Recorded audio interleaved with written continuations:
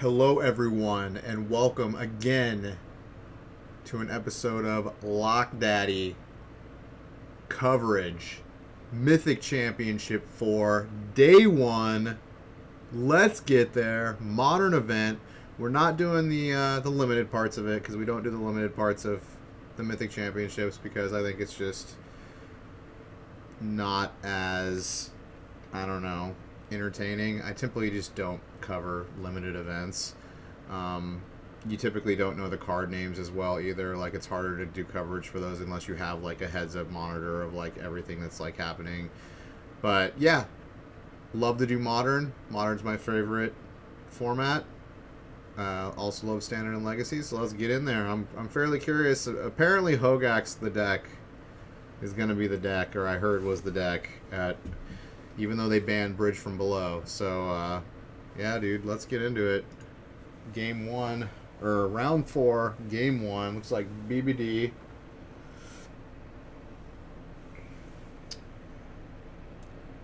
Ooh, versus Lisette on Tron. Let's go. Always playing Tron. I don't know what BBD's on. Oh, he's on he's on prison. He's on the prison. Blue black prison. Or blue black Urza, as it's called now. It's pretty much kind of a prison deck. Oh, maybe it's just a Hyperthopter assembly deck, but yeah, it plays like Pithing Needle. It plays a bunch of like prison-esque cards. Um, so what what the Urza deck wants to do is just, you know, make infinite mana and infinite Thopters basically. Hey, what's up, Crackshot? You watch the BBD? Yeah, I have. I, I follow him on uh, on Twitch. I watch him when he streams sometimes, if I have time. I've met him in real life too. He's really, really down to earth. Really cool guy.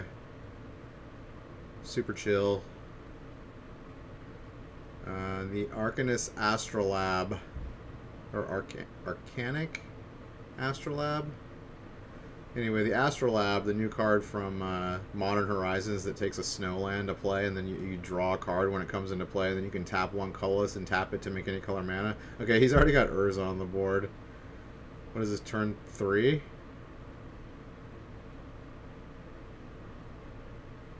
Turn three Urza? Seems good. It's already got, what, a 5-5 construct? And the Pithing Needle's on uh, Expedition map, no doubt. So he's not going to be able to crack the map to get his Tron, his third Tron land. Oh, he's got Thopter Assembly. Or Thopter Foundry.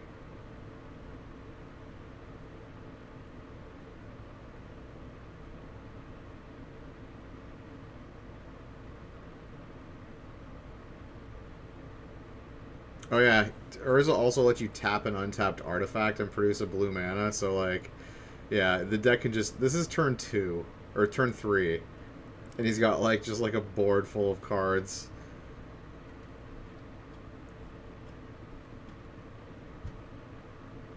And okay, he's got the goblin. Okay, the goblin lets him fetch out an artifact and put it in his graveyard, and then the goblin's tap ability lets you take an artifact and put it into play, or an artifact of like, I think it's CMC two or less.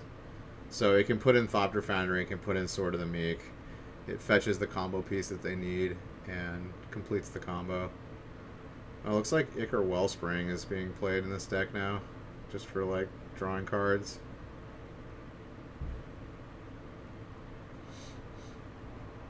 Yeah, there's the Ensnaring Bridge.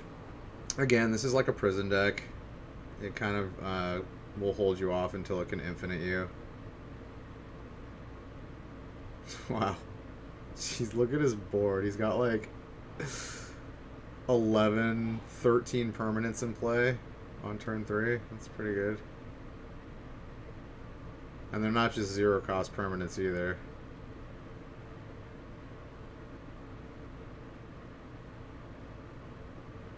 Yeah, this is kind of the pace of modern these days.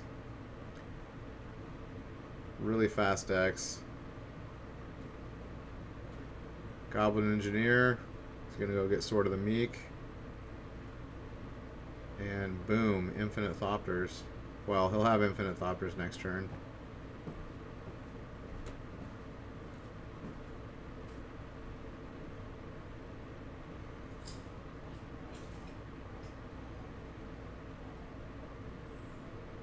And he's scooping him up. GG. Alright, are they going to show sideboards? I feel like last time they didn't show sideboards. I guess they're not going to show sideboards. But uh, Tron's going to board in like anything that can interact with artifacts and graveyard, so it's probably going to bring in like um, Relic of Progenitus if, if they're still playing that in the sideboard. Um, it might even be playing, Tron might even be running uh, Leyline of the Void, in which case that's definitely going to come in. Um,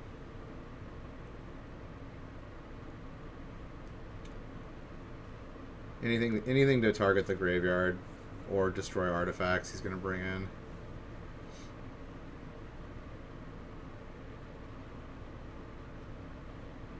And then probably dismembers for Urza to kill Urza. And this looks like is this black and this is some black and white Death Oh no, this is Mardu Death Shadow, but it's playing Tidehollow Sculler and and Hex Parasite? Well, that's crazy. I haven't seen that card in a long time. Hex Parasite removes counters from targets. So, like, you can kill Planeswalkers with it. Um, I'm not sure that's why that's being played. It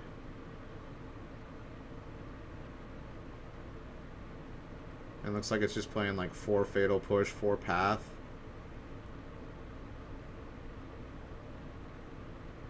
And just like tons of hand destruction, including Tidehollow Sculler. That's interesting.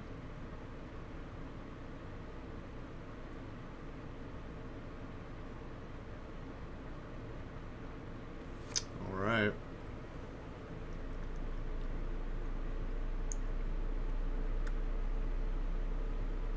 MH artwork. Who's image?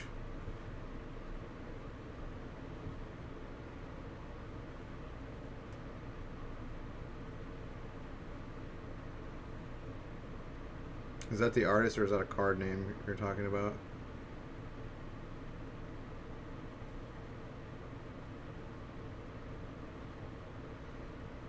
Oh, Modern Horizons, yeah, for sure. Modern Horizons was a very well designed set. Very well designed. It's got really good value. The packs are only like 650, so they're not like as expensive as a normal modern set. Like normal modern sets are like 10 bucks when they come out usually. So you're paying 350 less per pack, and you're getting like almost the same value because you got all the canopy lands. They're not canopy lands aren't quite as good as fetch lands like there were in M 2017, but still really good. Worth worth money, and you got like Wrenn and Six, which is worth like 80 bucks, and you got like all these value cards. Like I'm tempted to buy a box of Modern Horizons and just crack it and hopefully get lucky and get like really good value because you can get you can get boxes for like 175 bucks. I think people are selling them on like Facebook and stuff. I don't know what the MSRP. I think the MSRP is 200 on them, but you can get them for like 175. And and like Hogaak's still worth like 10, 12 bucks. I mean, okay, we, this is our this is the Hogaak deck, and then against Phoenix, these are the two like, you know, premier decks in uh, modern right now. Both very strong, consistent, fast decks that, you know, can't really be taken apart with one card, with one attack strategy.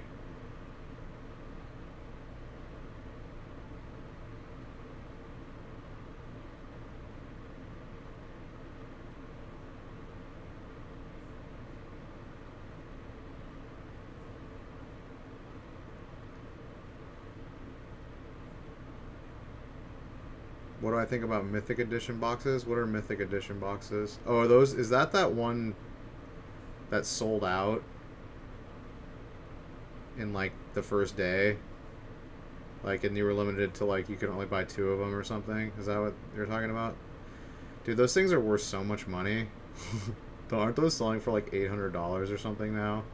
They were like two hundred dollars retail or something like that, and they're and they got like the the like the full art foil Jace in there, and like the some other card, Ugin. Like the full art alternate art Ugin, and full art alternate art Jace. Uh, I mean, I'm not. I'm not one of those Magic players that tries to get cards like that. I don't really care, but I think it's pretty crazy that people are paying what they're paying for it. The hollows, yeah. I'm not a huge fan of like foil cards, to be honest. Like I'll trade any foil card that I get for like just like normal cards that are, you know, to me that's of better value. And like Magic didn't have foils until like eighth edition or something like that, or like no, like sixth edition, seventh edition, something like that. Like the game didn't have foils until they were like, oh, Pokemon's making foils and they're making a lot of money on their game.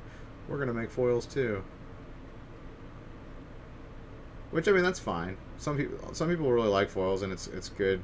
It's good for the game. I mean, you know, people.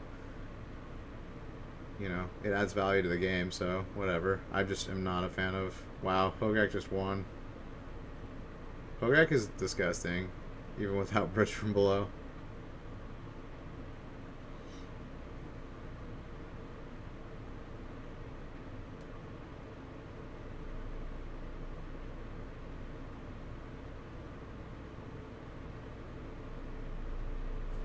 Alright, looks like you like the eye candy. Yeah, dude, there's tons of people that like to foil out their decks. I'm just not one of those people. I like full art cards. I like the ones that are full art, like borderless cards and stuff. Those are really sweet, but like, yeah, foil, foil, I don't, I don't like. Okay, looks like Lisette's mulliganing like a third time. All right, we're finally into the game. Yeah, he mulliganed to four. It looks like.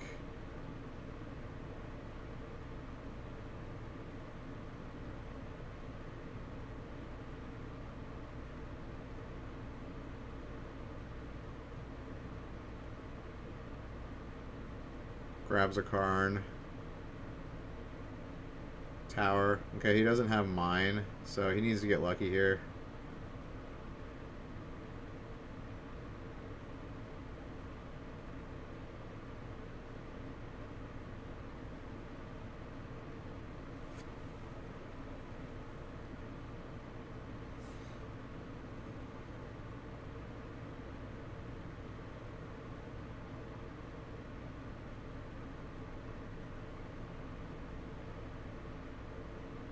2 Mind Stone. He's going to have turn 3 Urza again. Like, that's pretty much what this deck wants to do, is turn 3 Urza. And it has lots of ways to do it. Yeah, Lisette just drew something he couldn't use. Probably another uh, threat. And he's got a Nature's Claim that he can't use. He has no green mana. So, not in the best position.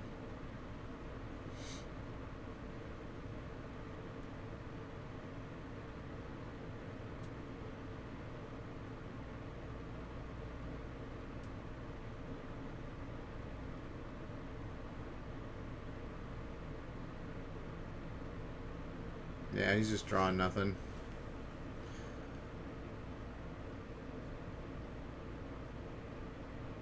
Ooh, Thoughtseize came in from the sideboard.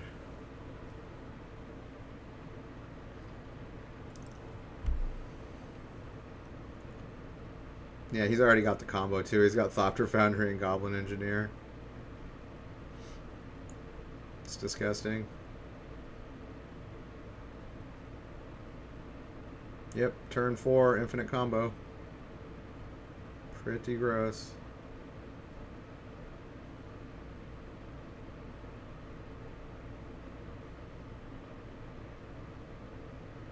Actually, does he just have the infinite combo right now? Yeah, he's making infinites now.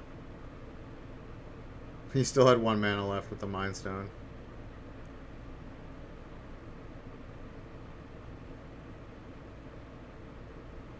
He's showing him the infinite combo.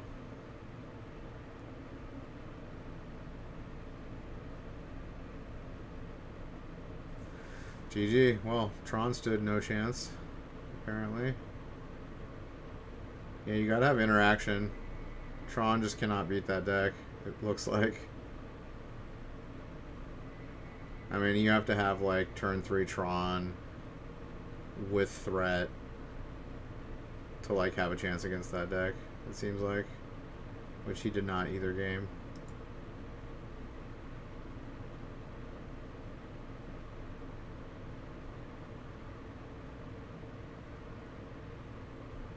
Alright, this is the Mardu Death Shadow versus Hogaak.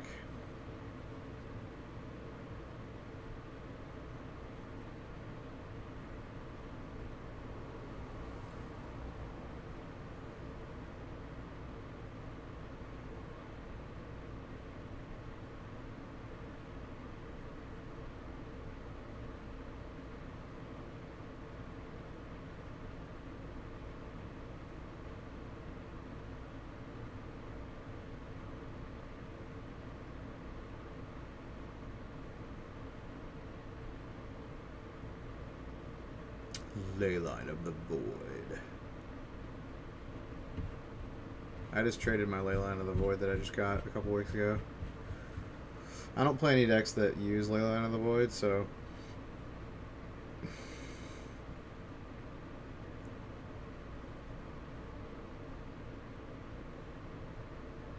Stitcher Supplier, this is a really good enabler for this deck. But I really feel like Faithless Looting needs to get banned. Like, graveyard decks are just, like, completely have just taken over Modern. And it's just, like, the field is so narrow, like, now. It used to be, like, 20, 25 decks that were playable in Modern, and now it's only, like, 5 to 10.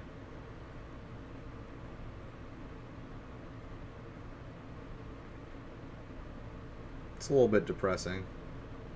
How often do I buy cards and packs? Uh, not very often. I used to buy a box of every new set that came out, but like,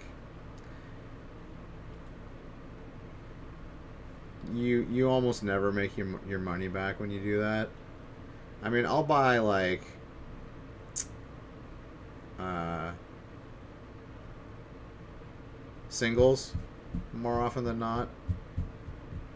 Like packs, I don't really buy anymore though. I mean, packs are still fun to open, though. I mean, I get them... If I do, like, a... Most of the time I take credit when I win tournaments and stuff like that, so, like, I can just buy singles with credit. Um, but sometimes I'll take, like, the prizes. I'll take the... Like, if a new set comes out, I'll take packs instead of credit sometimes, so...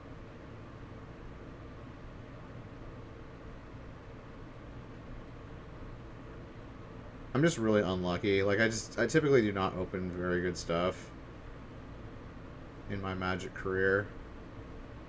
Although I did rip a Black Lotus in my first unlimited packs I opened.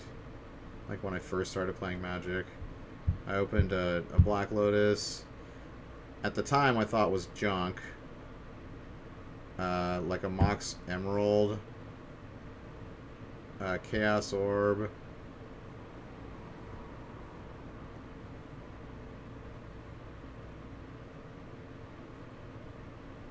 And uh, I think a Mox Pearl I opened too. All of which I thought were not very good at the time. Because at the time, like, everyone was like, Shivan Dragon is the god card. So everyone wanted Shivan Dragon.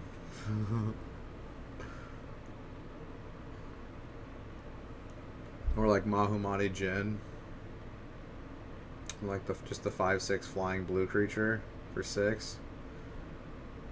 That was also really popular then. And the Vesuvan Doppelganger was pretty good. But pretty much creatures everyone liked. People didn't really know the power of... I did. I did crack shot. I traded them for when uh, Arabian Nights came out which was like the first expansion set after the base set. Um, Library of Alexandria was like the hype card, right?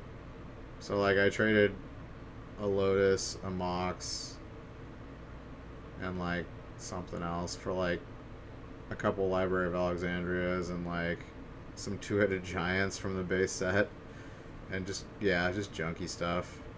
I mean, Library of Alexandria is worth money, but like not as much as like those cards. And it's still a really good card, like Library of Alexandria, but you can only play it in obviously vintage. You can't only play any of those cards in vintage. And Library of Alexandria is a really powerful card. Um, I mean, it's restricted. You can only play one of them in vintage. But it's not worth as much money as like. Yeah, it feels bad. No, what's worse is I I used to have uh, at one time I had like all the I had like eight of the Power Nine, and I sold them all for like, I mean I sold them for what they were worth at the time, which was like you know a hundred dollars each, or 120, 100 something like that, 100 or 120 each. I mean that was the market value of them at the time, but of course they went up considerably. All right, this is what the uh, the Sh- the Mardu Death Shadow does. It plays Ranger Captain of Eos and just goes and gets more Death Shadows because it goes and gets a one drop. And then the Ranger Captain of Eos can also sack, so your opponent cannot cast a non-creature spell for the entire turn. So like this deck's really sweet. Like I want to build this version of Death Shadow. I have the Grixis version, but uh, the Mardu one is like crazy. You can like lock your opponent down, and it also plays Giver of Ruins, like a couple Giver of Ruins, which can give your like Death Shadow protection, and they can just like swing through blockers. It's pretty strong.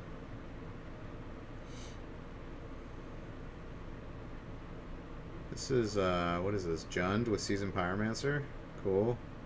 Versus White Blue Control.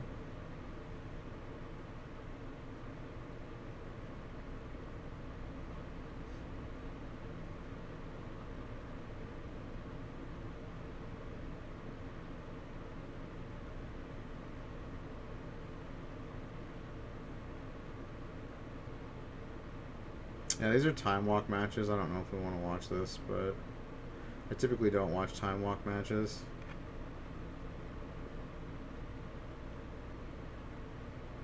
But we can check it out. I do like Jund and White Blue Control, so. These two decks are very good now.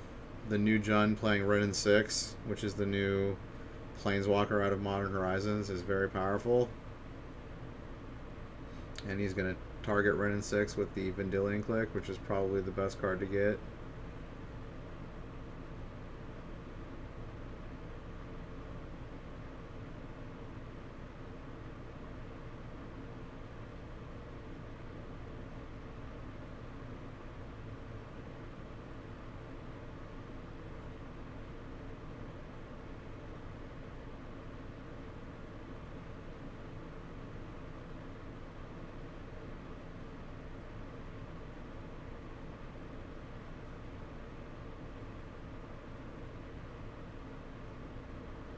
Looks like he's just going to slam Bloodbraid Elf here. Just go to town, swing.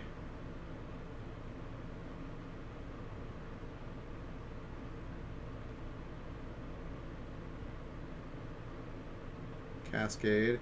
Who he gets Kolaghan's Command, that's so good. I don't even know these decks were playing Kolaghan's Command main deck anymore. He's probably only playing like one or two of them at the most.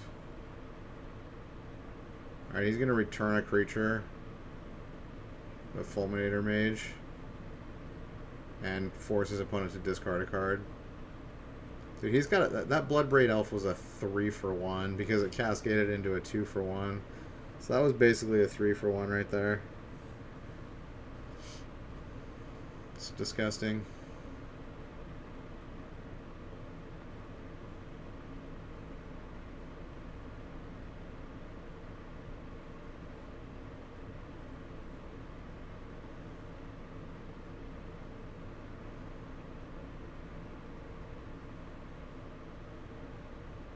He's playing Batterskull? That's interesting. I have not seen Batterskull played in Control ever in Modern. That's like a first first for me. It's like he's got Supreme per Verdict, Batterskull, and some other card in his hand.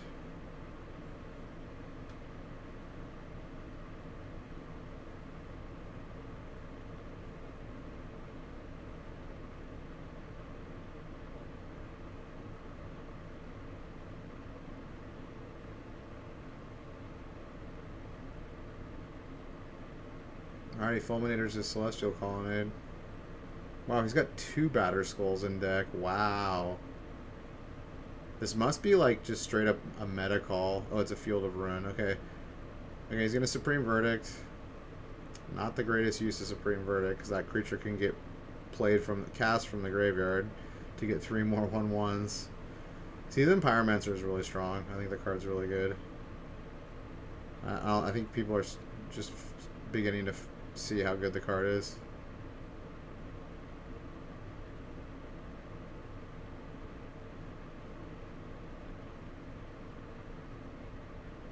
It's like he drew another Bloodbraid. Yeah, I think Jund's going to win this. They're pretty far ahead. Although he does have Batter Batterskulls. If he can get a fifth mana and put down the Batter Batterskull, he's in pretty good shape, actually. I guess this is why that they have the Batterskull. It's for, like, these grindy games. It might actually be good against, like, Hogaak. I don't know.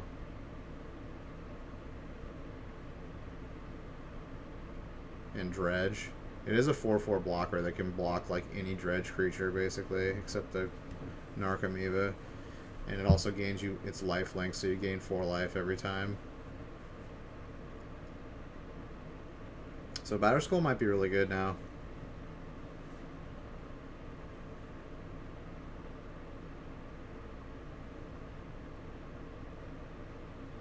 Bolt your face, attack for 5.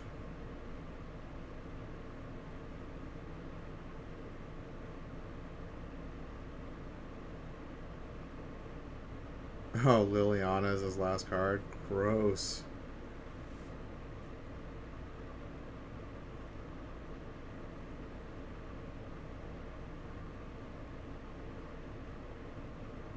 Yeah, he's just gonna scoop him up. There's like nothing he can do. Now, if the Liliana hadn't been played, he might have had a chance.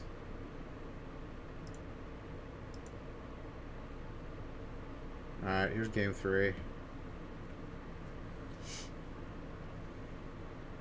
Turn one Thoughtseize. No, turn two Thoughtseize. Looks like he spell pierced the turn one Inquisition.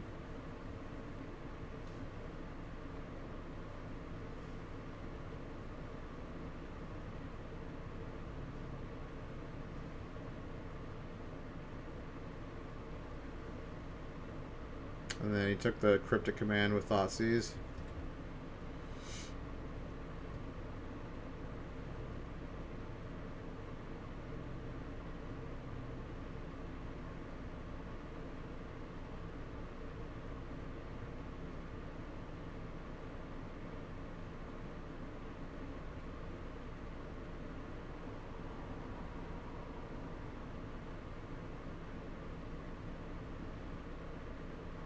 Dude, I love the Raging Ravine picture. That artwork is so cool. It's good to see some Yu-Gi-Oh! Pampero, how dare you? How dare you? Wait, what did he just play?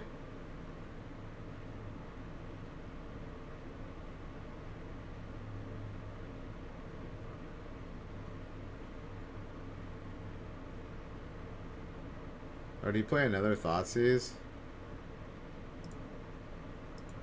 What did he counter there?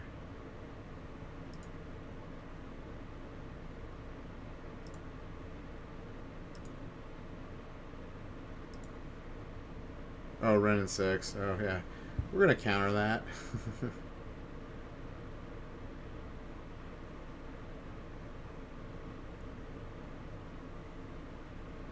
and then during his draw step, he surgical extractions. He's probably gonna take the cryptic command here. Yeah, he does it to the cryptic. I don't really know why he's playing surgical extraction from his sideboard against blue white. It's not that great. I mean, yeah, cryptic command's one of his more one of his more powerful cards, but like Hmm. I don't know. I think I'd rather just have like a threat or like something else. Besides surgical.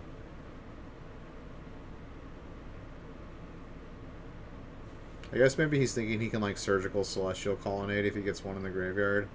That's kind of a good target.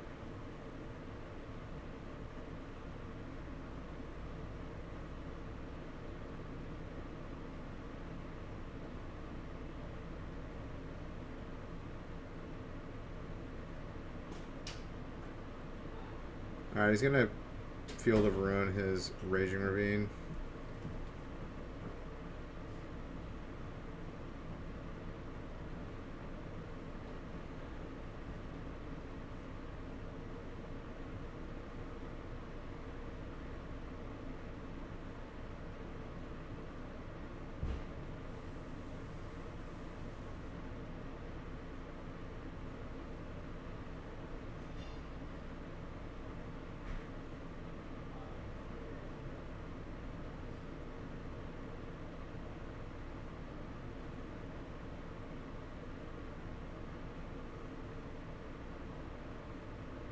Wait, was it not his turn?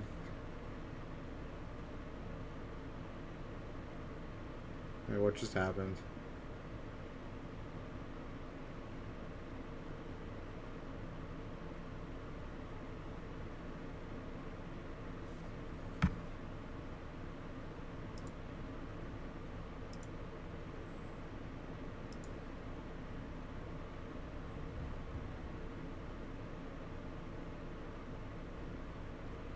Yeah, he untapped. He shouldn't have untapped.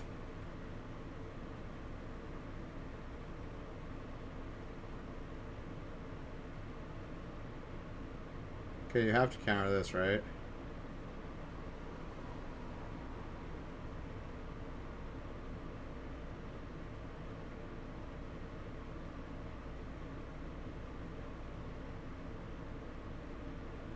Misha, what's up? Hey, hey, doing a little Magic the Gathering Mythic Championship commentary.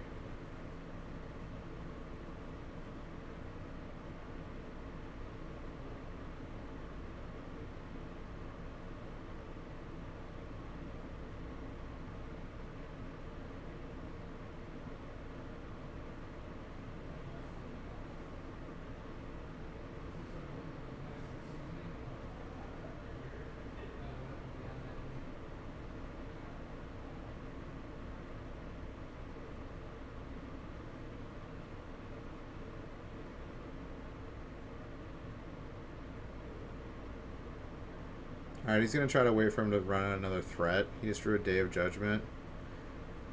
Alright, he's going to path it. Okay.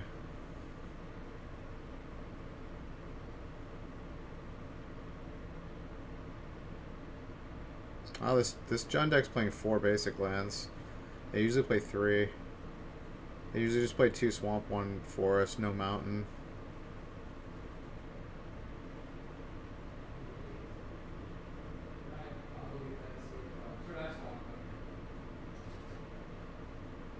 Oh, Liliana's out. This game's probably over. He needs a Planeswalker right here. Snapcaster's decent, but...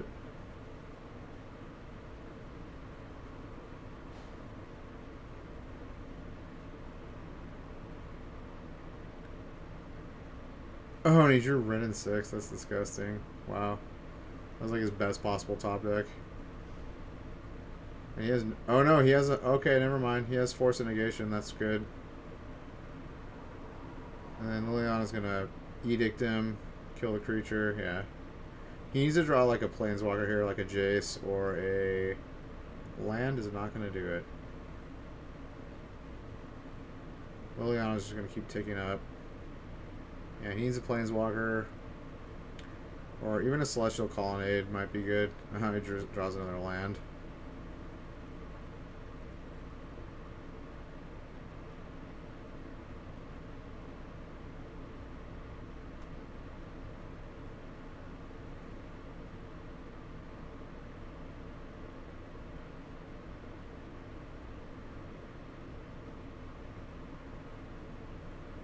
Blue White needs some action right now. Teferi would be great. Teferi would be super strong. He could tuck Liliana and then just start drawing cards off of it. Supreme Verdict, not going to do it.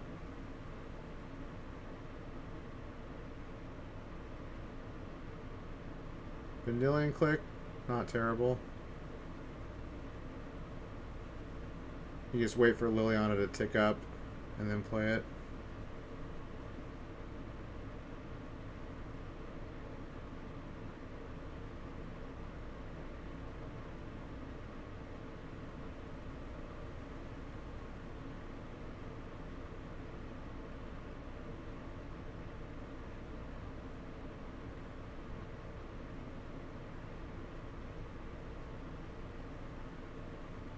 Okay, Liliana can tick up here or tick down. Um, depending on what's in his hand. Oh, he just draws Kolaghan's command. Gross. Oh, counter. Dovin's. Oh, Dude, that would have been so strong if Liliana had ticked up first.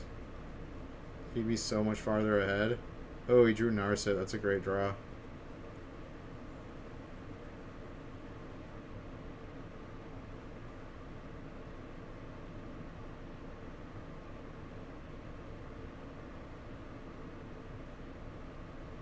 He's just going to grab an opt here.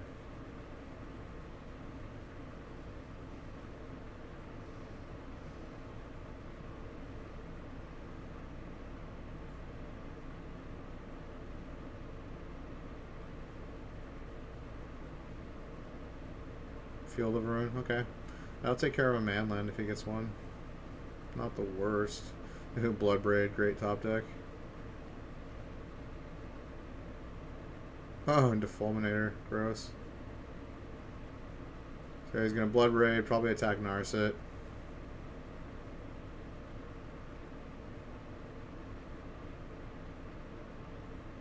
Take up Lily, yeah. Slowly squeezing control out of this game. Snapcaster, what does that do?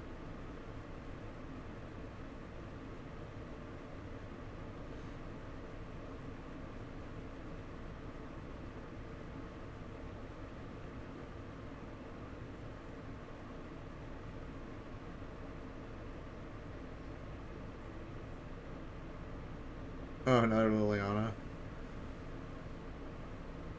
I think he just has to take the damage here. Hope that he ticks up Lily.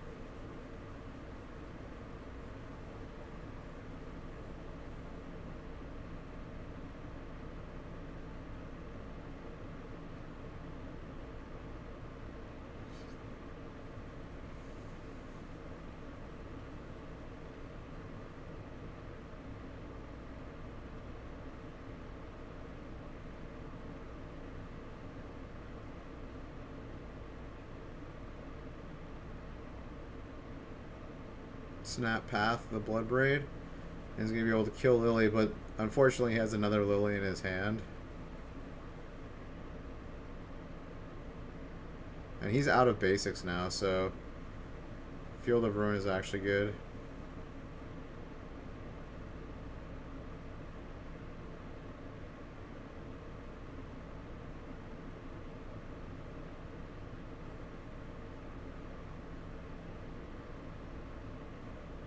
Attacking him down to 11. This game's grindy. Super grindy.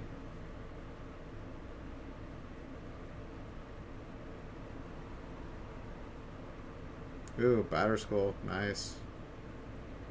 This card's very good against him.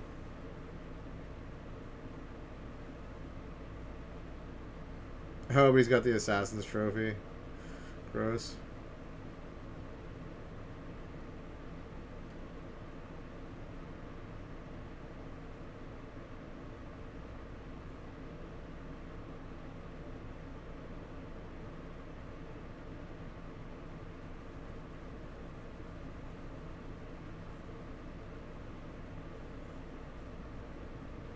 Feel like you should use one of those of Ruins at least.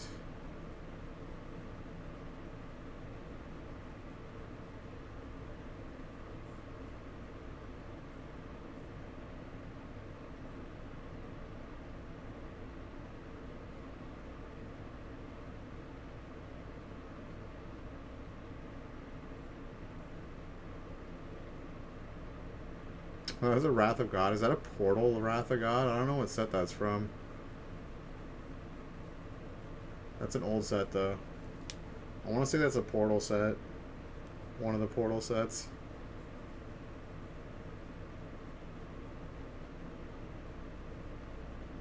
Tip, Bloodbraid.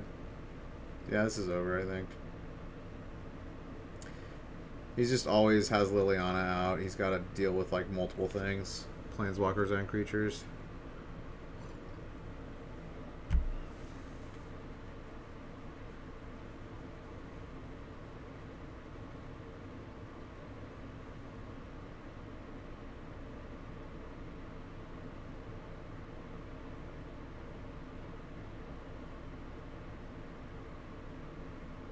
Yeah, long but good. Tonight he gets Wrenn and 6 again.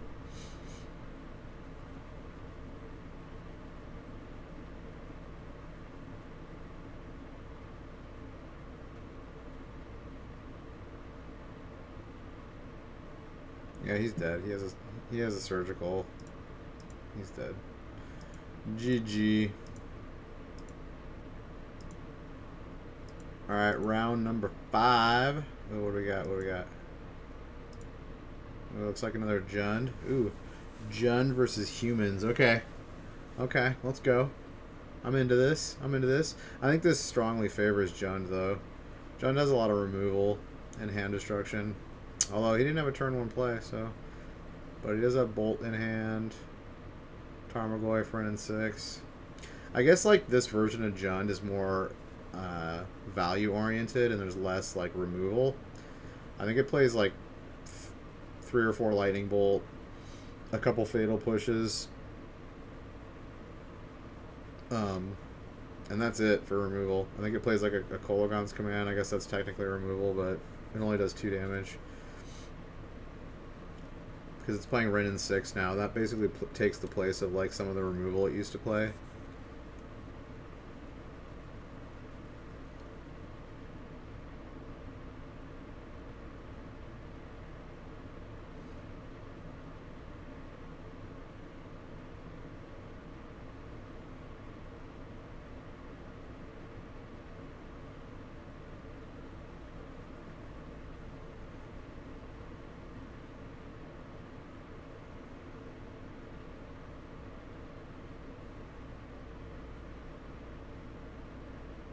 Dude, Wrenn and 6 is so good. He just puts it out minus one, deal a damage to anything.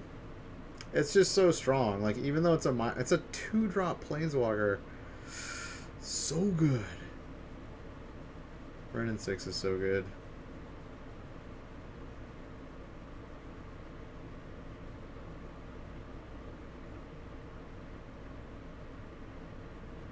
Although shit, dude, this humans player's got it all.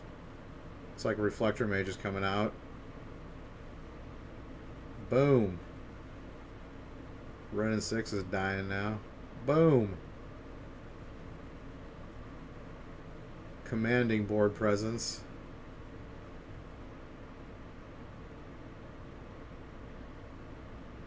Now he can't bolt the champion of the parish. He's going to be in big trouble here soon. Humans is going to go critical mass. See, this is this is where the the Jund deck fails a little bit, where it used to shine. Like it used to have more hard removal, so it could just like wreck humans most of the time. But now humans is a more even matchup because it plays more like value and less like re hard removal.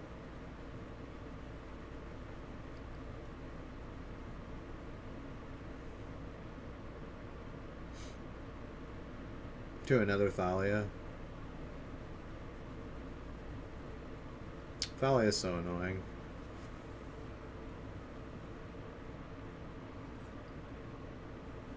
Yeah, all he's got is a lightning bolt and a Scuzz.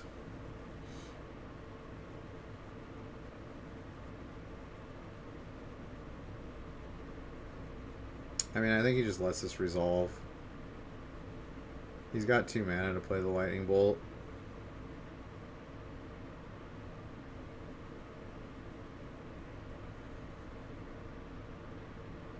He's gonna play it now. Okay, he's killing the Reflector Mage? That's weird. Am I doing arena after commentary? Probably. I might break for dinner. I usually break for dinner and then come back after like, you know, 30, 45 and then stream for like another like three or four hours.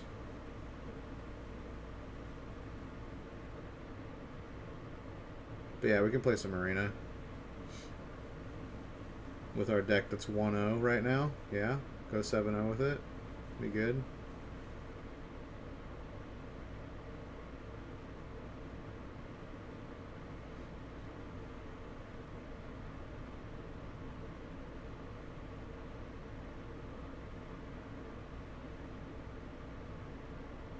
Yeah, he's got this enormous champion of the parish. Yeah, that's gonna make short work of the Jund player. He needs to find like a fatal push or like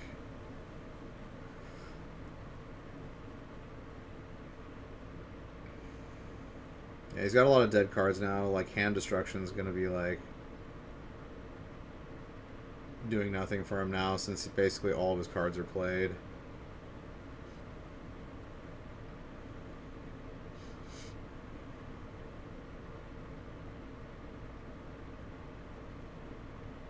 Okay, drew fatal push. Alright.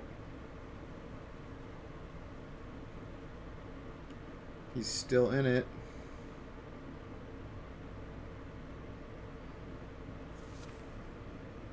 Alright, he can eat a creature and block Thalia or the Reflector Mage. So it looks like he's just going to attack with the Champion of the Parish. Unless he has like a...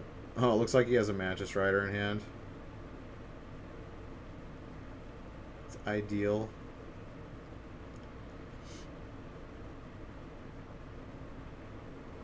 Oh no, it's a deputy detention. Never mind.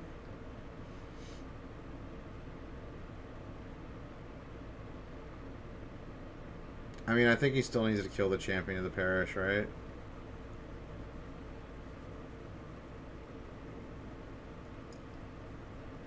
Oh, and a Mantis Rider. Jesus. This human player's got it all. Yeah, he has to kill the champion. Seven damage. Barely hanging on here. Yeah, I think he's just dead. There's like nothing he can do. He needs a board wipe, which he doesn't have before sideboard.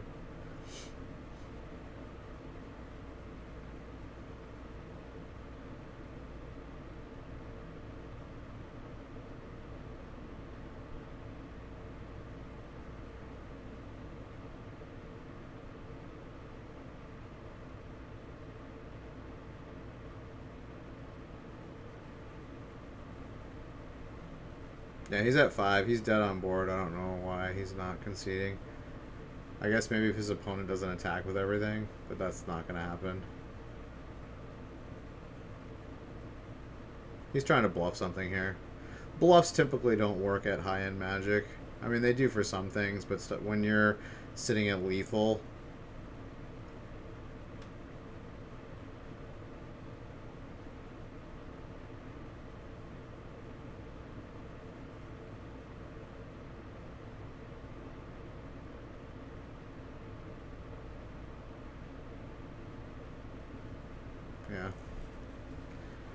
He's bluffing hard. GG. What do we have here? What is this? Phoenix versus... Ooh, is that great? Wait, wait, wait. Blue... Oh, he's playing Esper control. Okay. Little Esper. Little black, blue, white. We go? I want to go back to this. Yeah. The Jund humans. I'm into this. I'm into it. I'm glad Jund is back. When Jund is not a playable deck, you know it's the format's kind of unhealthy.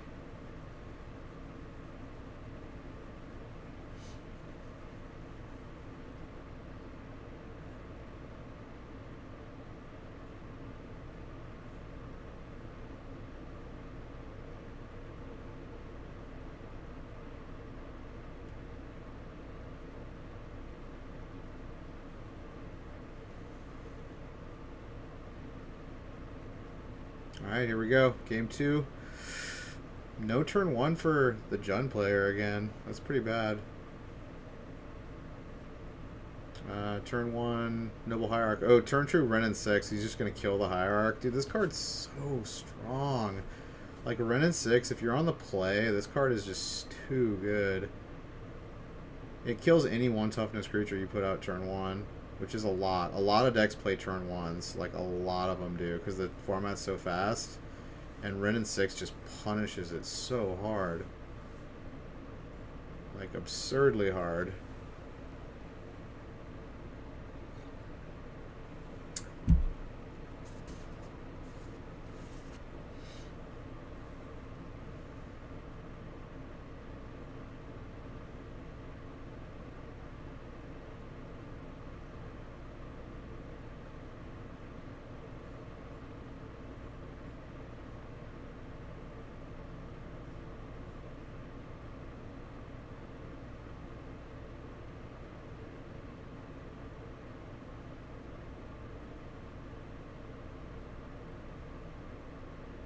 I wonder what he named with uh, Meddling Mage.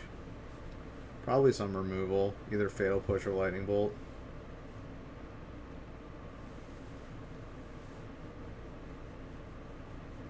Maybe Damnation. Because I know Jund plays like one or two Damnation sideboard.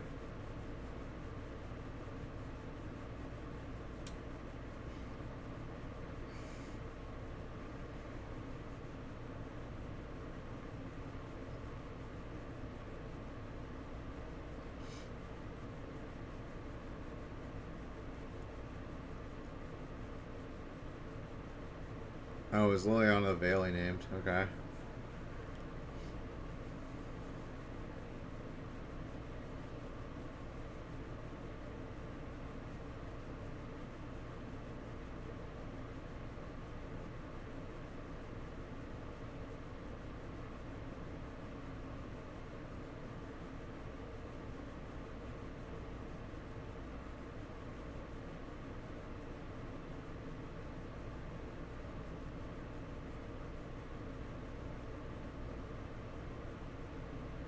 His hand, the human's player's hand is stacked.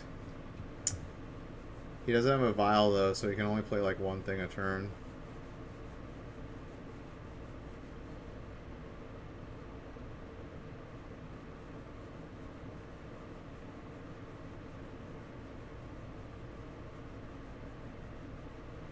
Oh, Liliana's coming out now.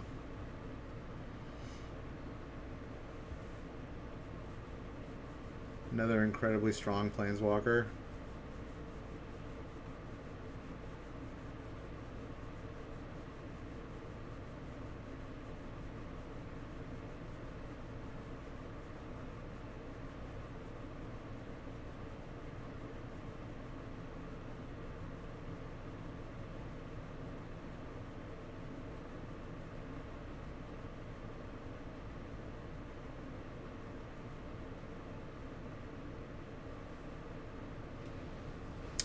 Well, he probably is going to play Mantis Rider here.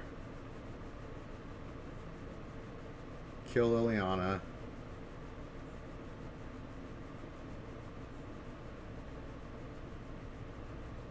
Yep. And then he can Phantasmal Image it next turn and kill Wrenn and 6. Actually, that Strider is going to get Assassin's Trophied, probably.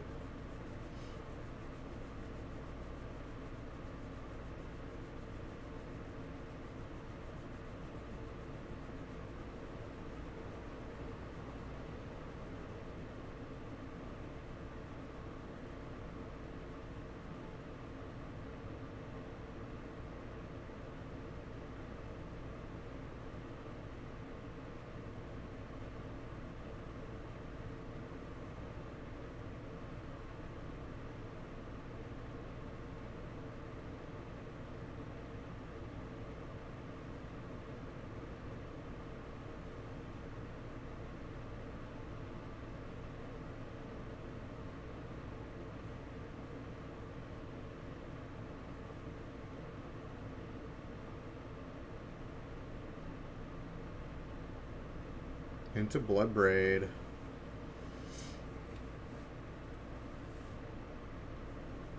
Oh my god, so good.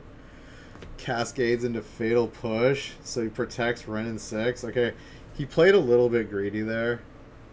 Like he wasn't playing around Phantasmal Image or anything. But, okay, the Humans player's in a bad spot now because he doesn't want to Reflector Mage a Bloodbraid Elf. Because he can just play it again, and then it gets he gets another cascade off of it.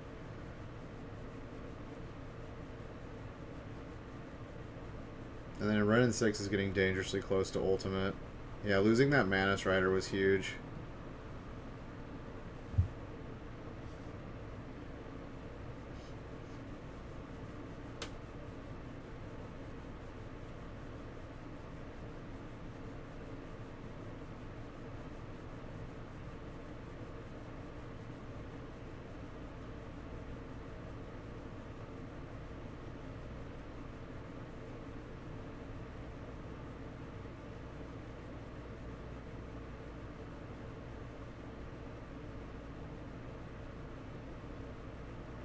Boom, just does damage to it, kills it. yeah, Wrenn and 6 can just kill Phantasmal images straight up.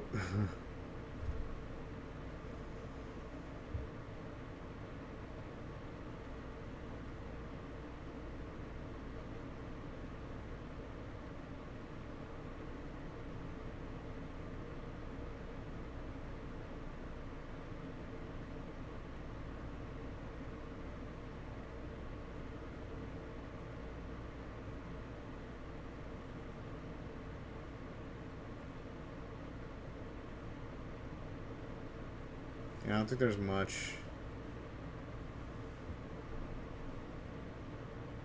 The humans player can do at this point.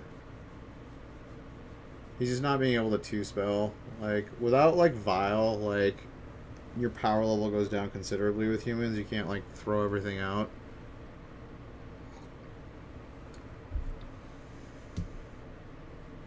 Well, I guess you can kill Wrenn and six here. That's good. Oh, but no assassin trophy. That's not gonna happen.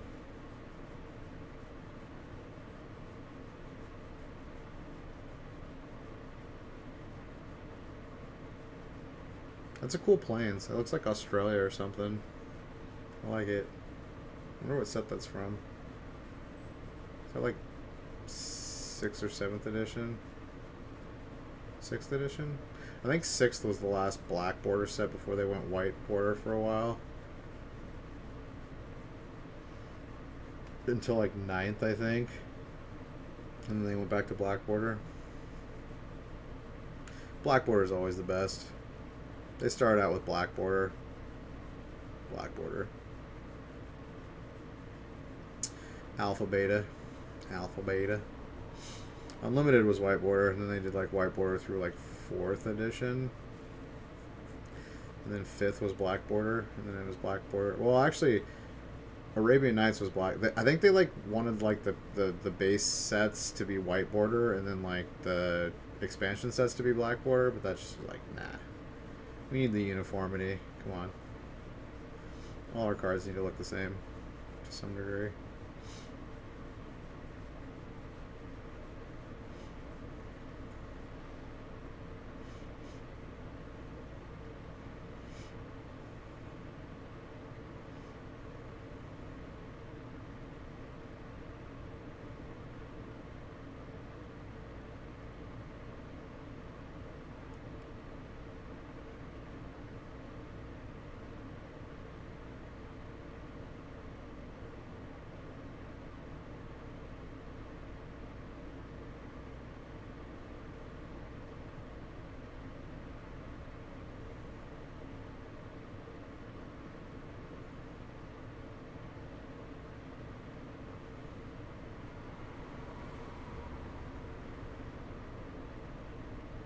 Alright, he finally got Wrenn and 6. Okay. If he has any removal for uh, that phantasmal image, it's GG. He's at one life. yeah, you can't even tap those two canopy lands for mana.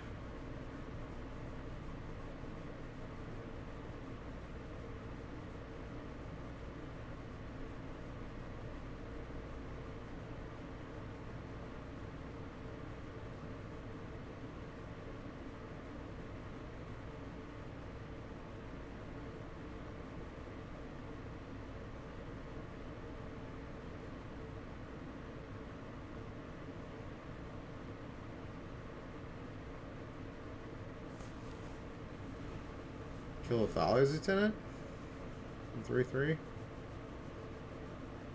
Oh, he's gonna kill the Reflector Mage, okay.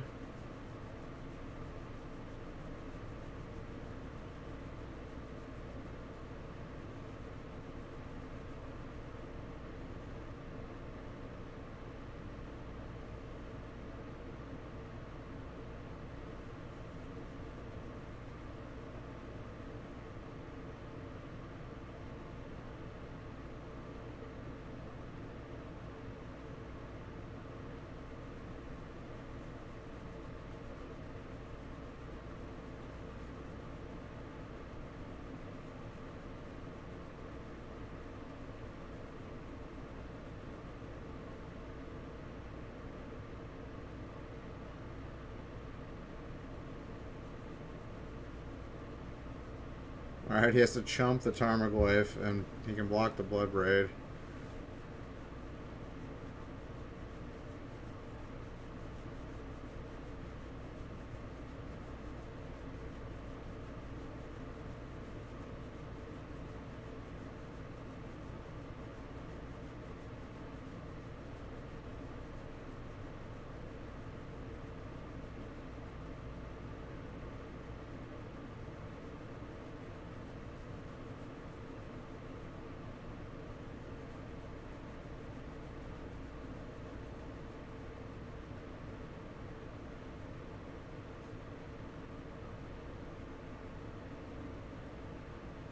To zoom in.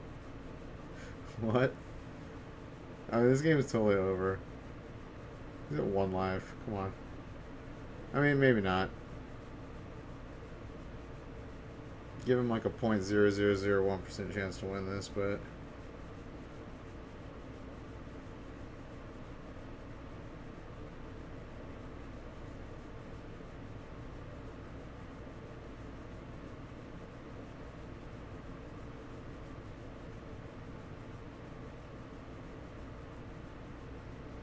He's got Reflector Mage. Wow. Wow.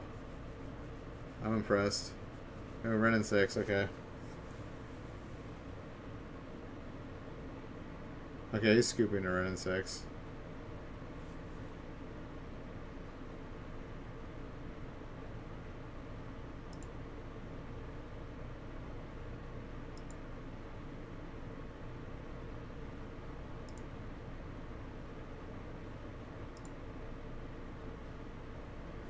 We got Jace on seven counters. Let's go.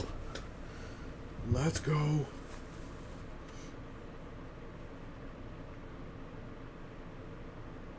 Let's get back to the main game. Alright, game three. Turn one Hierarch for humans. Turn one Catacombs for Jund. Into turn two Mantis Rider. Seems good. Swinging for four.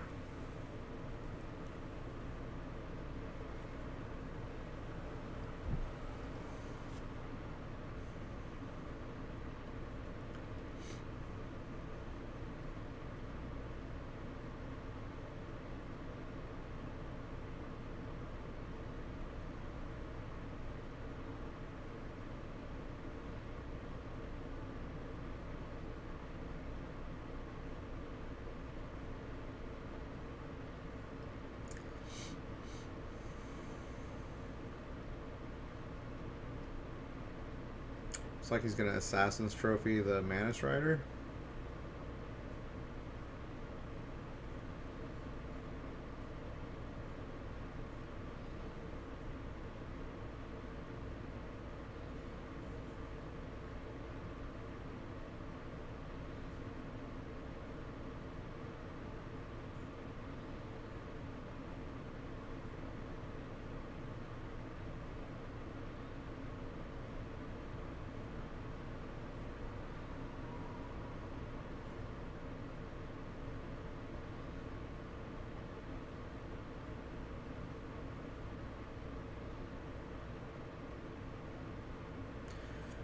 Pro Red and Pro Black, pretty good against Jund.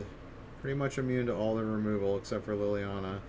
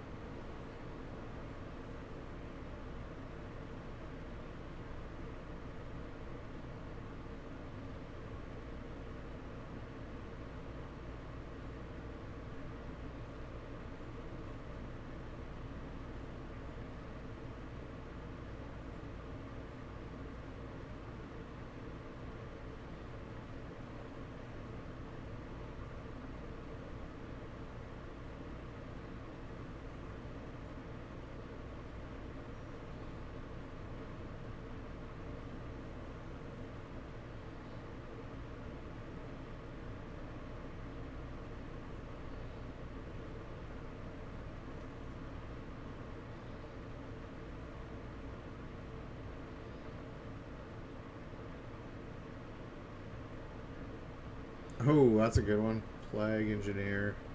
Naming humans. Although, I bet he would have liked to kill that Auriok champion. Ooh, look at that zoom in.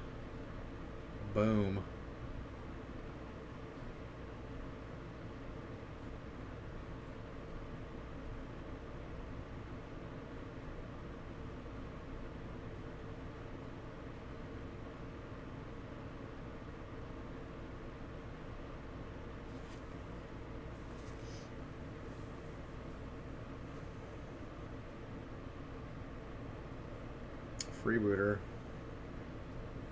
That's a good one.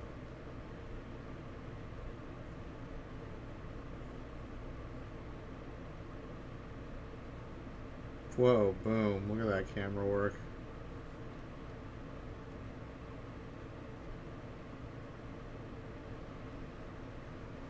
Uh, probably taking Wrenn and 6 here. Maybe Liliana.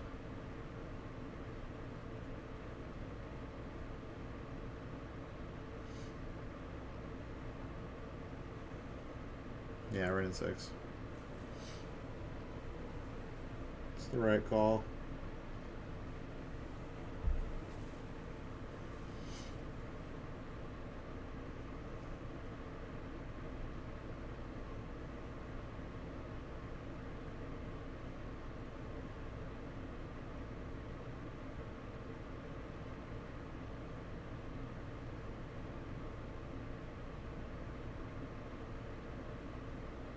Oh, he draws freaking Anger of the Gods. So good.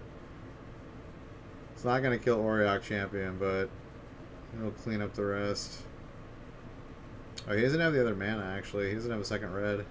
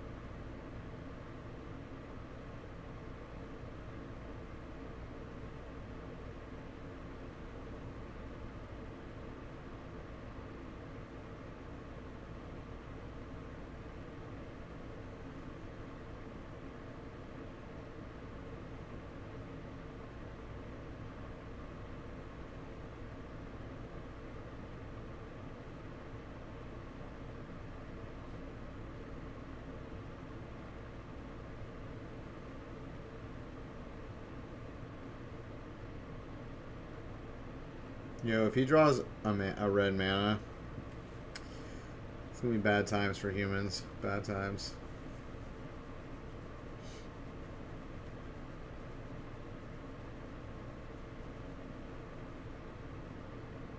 Yep, he did it.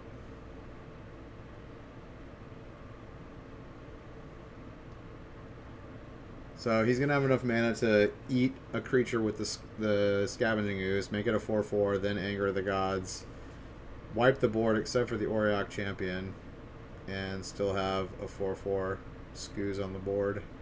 Seems pretty good. Seems pretty good.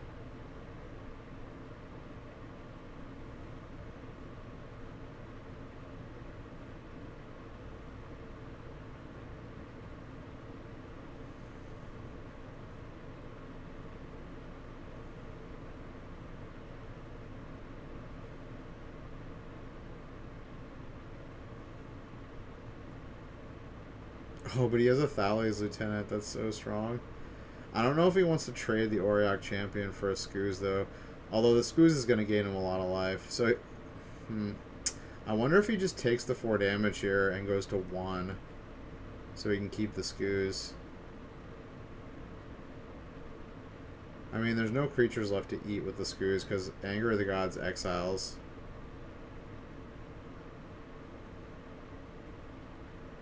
Oh wait, never mind. It's only a three three. Never mind.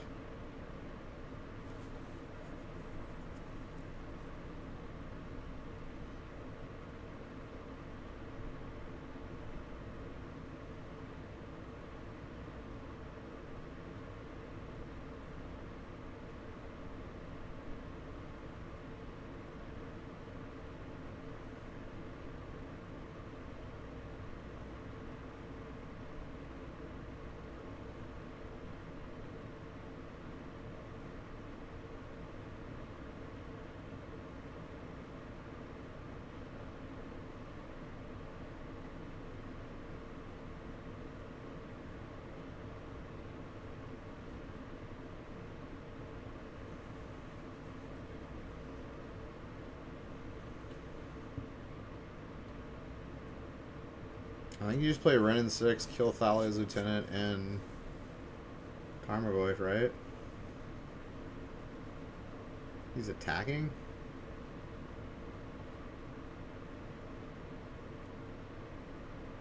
I guess he was trying to, like, get something for free there.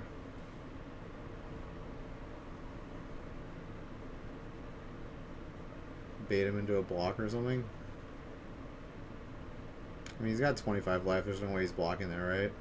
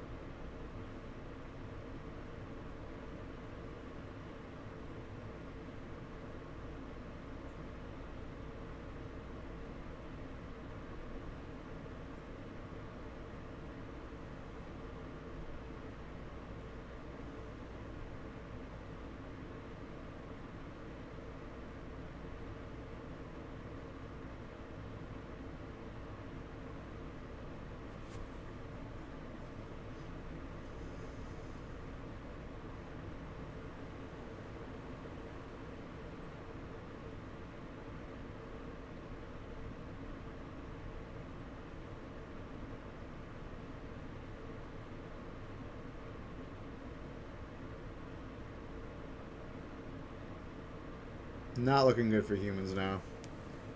Drew the Liliana. He's gonna be able to remove that Auriok champ. Oh, that Auriok champ is just dead. Yeah. Yeah, it's gonna be GG.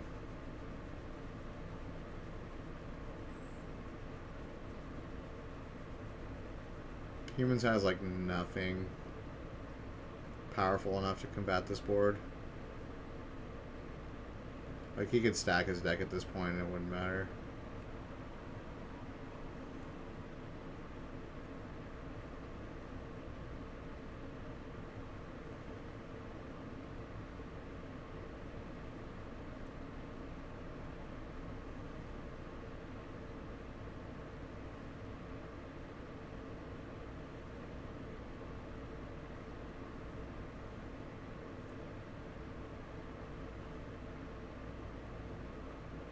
That's so good. He can get his cycle lands back.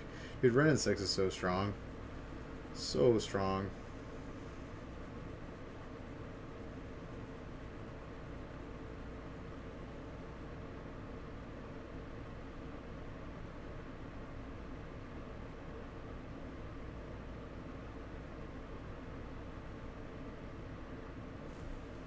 GG.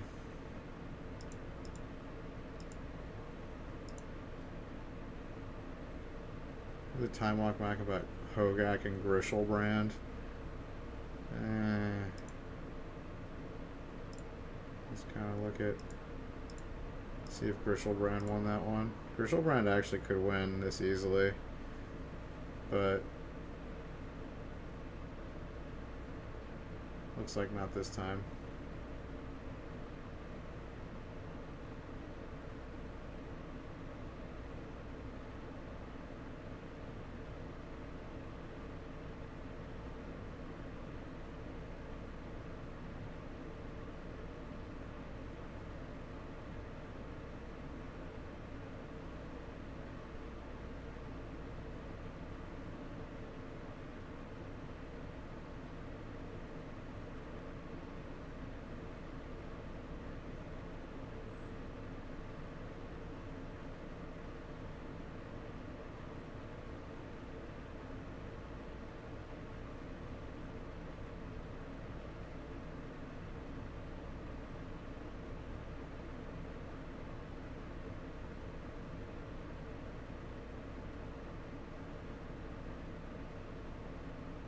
Yeah, I don't know. He's gonna through the breach. I don't know what that creature is. Some giant red creature.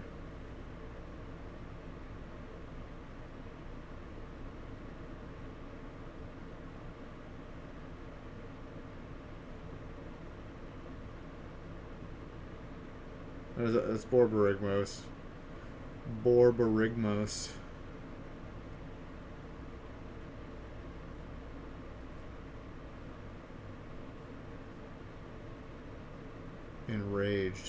Seven six trample. When it deals combat damage to a player, reveal the top three cards of your library. Put all land cards into your hand and the rest into your graveyard. Discard a land card. He deals three damage to target creature or player.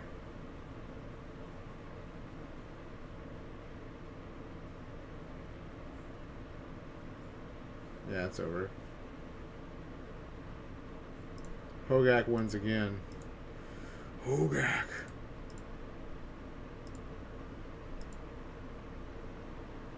Alright, we got round number six. Let's do it.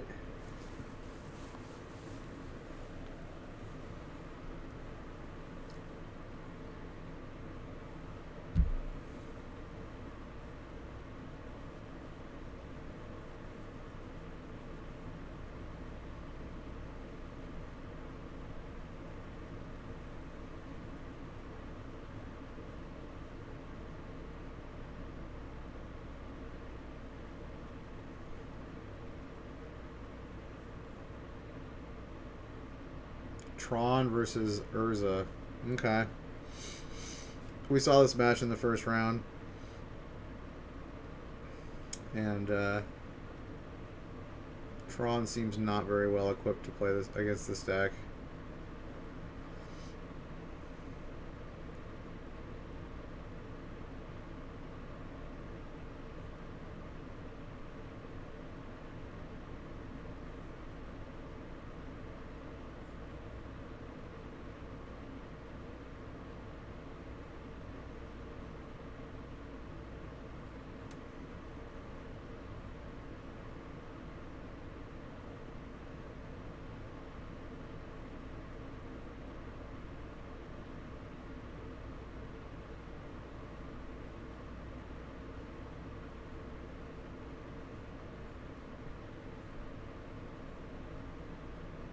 He's just gonna like pithing needle the chromatic star.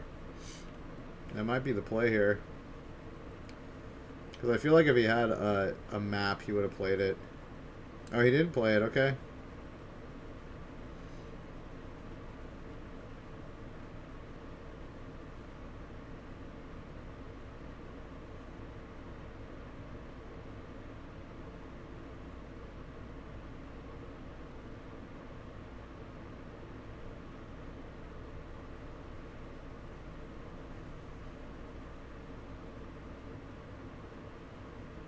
I appreciate the speed in which this German player is playing the Tron deck.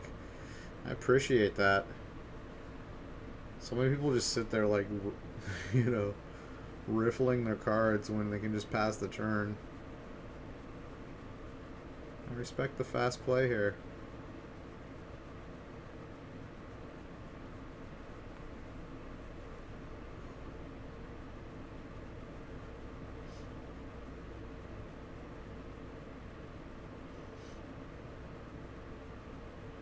Love speed too? Yeah. Dude, I love watching Shota Yasooka. He's like this Japanese control player in the Hall of Fame, and he's just like, that dude plays faster control than anyone ever in the game of Magic. It's like actually insane. He's a beast. Like, what a beast.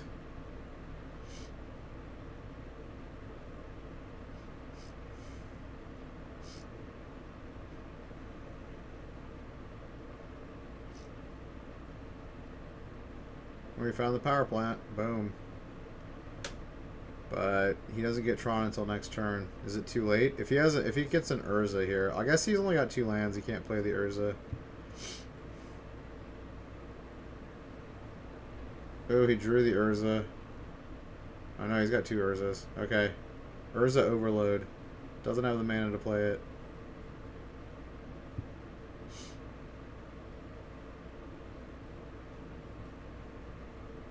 Wonder why I didn't play Urza's or Mishra's Bauble.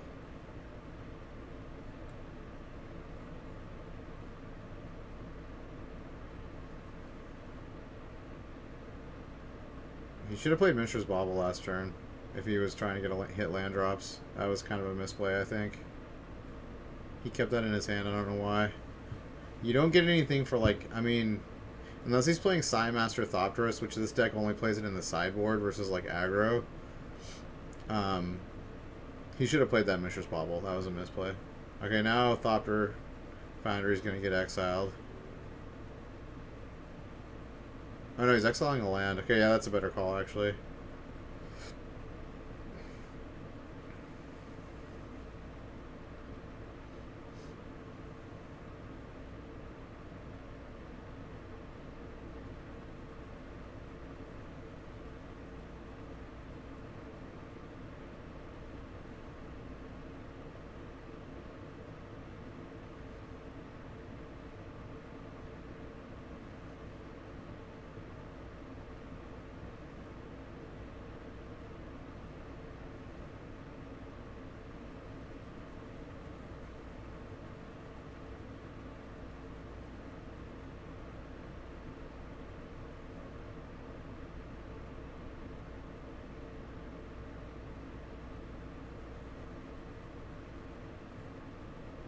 Alright, so he's got the Thopter combo out, Sword of the Meek, Thopter Foundry. But he doesn't have Urza, so it's not an infinite combo yet. Ooh, can he play Ulamog? He can play Ulamog. yeah, this is going to be bad. He's just going to exile three permanents here. Oh, he's going to exile a card from his hand? What? Okay, I'd exile three permanents here for sure. All three of his lands. I'd get rid of them all.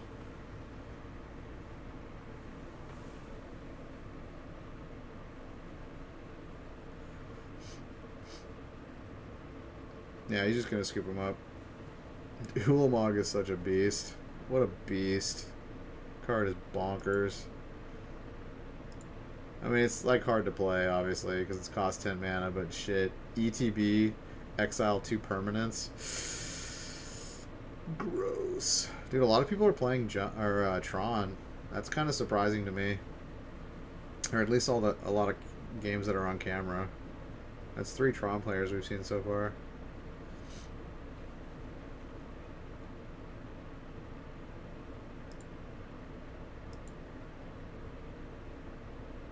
Alright, looks like the Urza deck mulliganed. Alright, game two.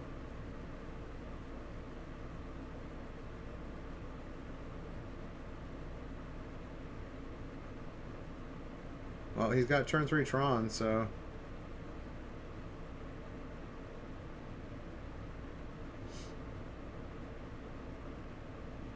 He's got Teferi, not Urza. Okay.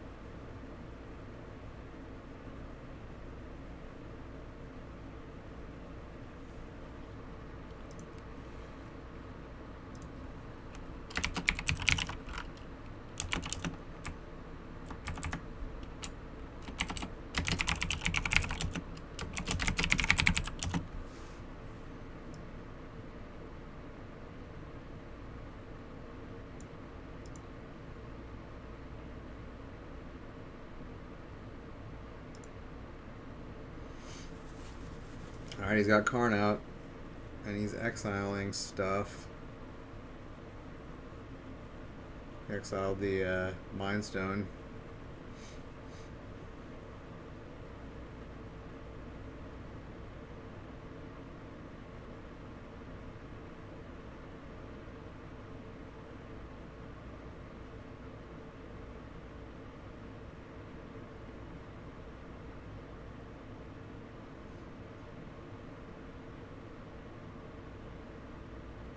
Alright, he cracked the Mishra's Bauble and looked at his own top card. Didn't like it, so he's going to crack a fetch land to shuffle it away. It's a good way to filter cards.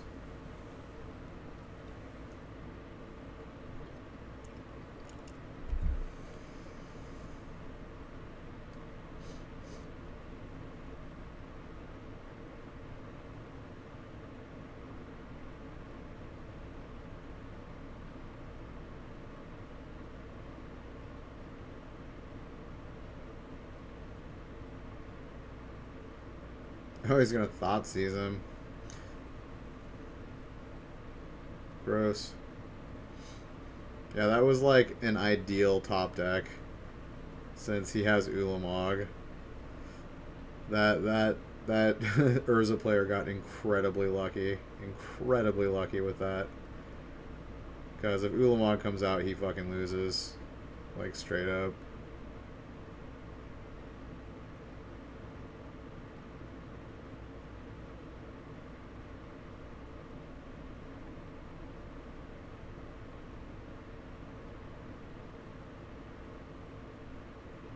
And he happened to have Teferi out so he could play it on his turn after the draw step.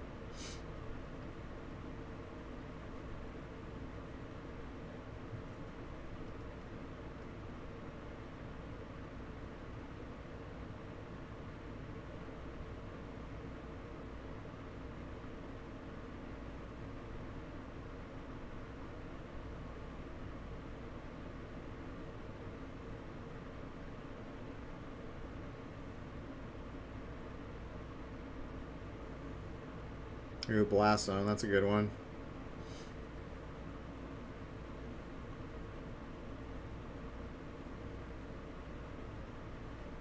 So he's going to be able to put a second counter on Blast Zone and then possibly use it next turn. Kill Thopter Foundry.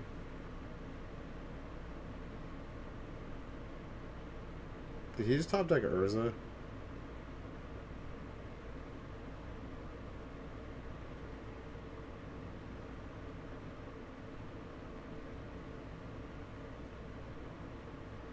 He did. Wow. This kid. The top decks. Let's go.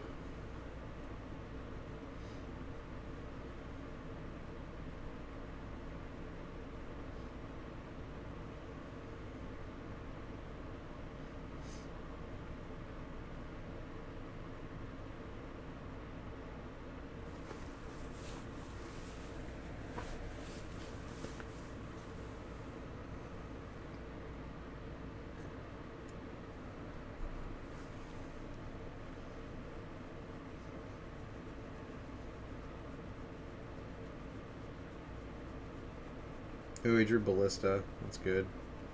I mean, he's probably going to exile Urza here and then Blast Zone. The uh, Thopter Foundry away.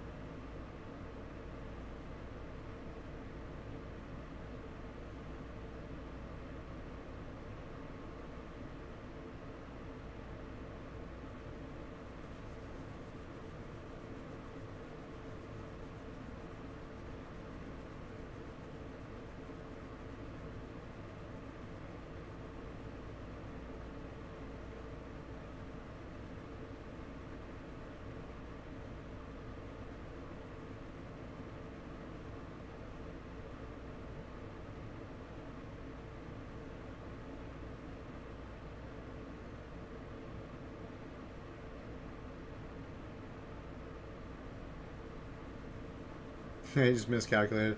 No, that's actually a five, five token walking ballista. Okay, apparently, like, maybe uh, just Joe Lossett was really unlucky. Uh, He seems to be doing pretty good with Tron against this Urza deck. Although these the, the, the Urza configuration, the configuration of the Urza decks might be different. Um, BBD's version might be more explosive, like you can potentially go off faster.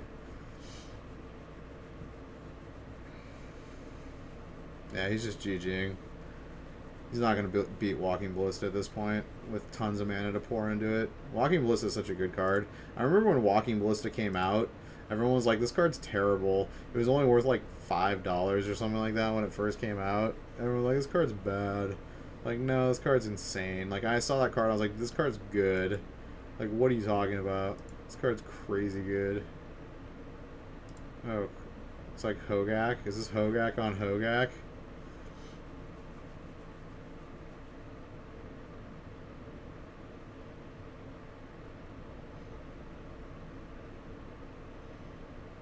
Dude, look at Sam Black's hair, man. Whoa. He's got the, like, mad scientist thing going on.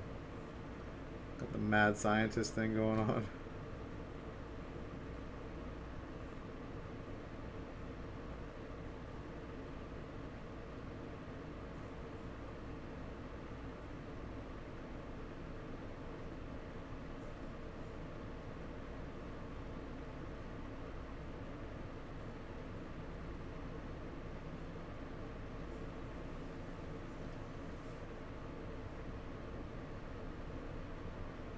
So they both had Leyline. Okay, they're both playing Hogaak, I think.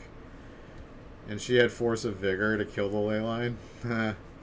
so good.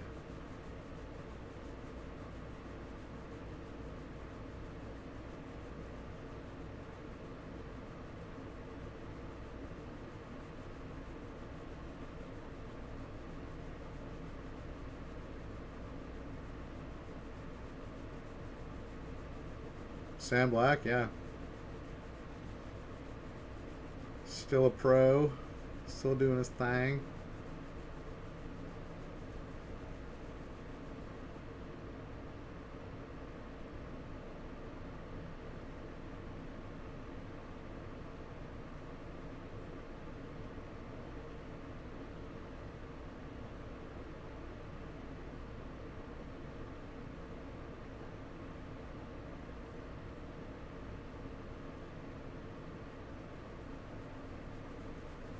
Yeah, he's been around for a while.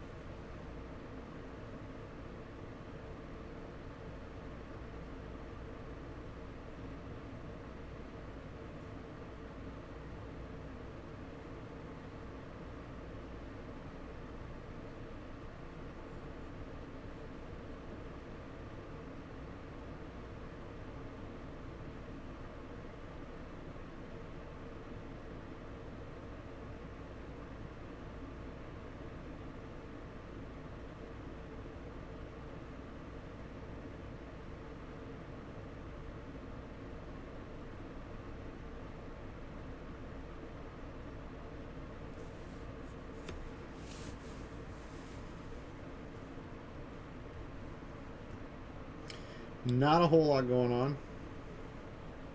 Got a Gravecrawler attacking for two.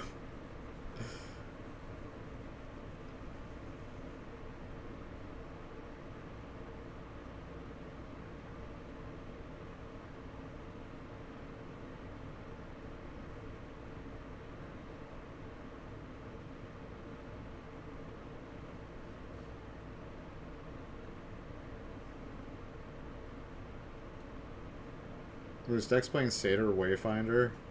That's funny. Just a way to get card advantage and play a creature. Because they're constantly cycling through and discarding cards.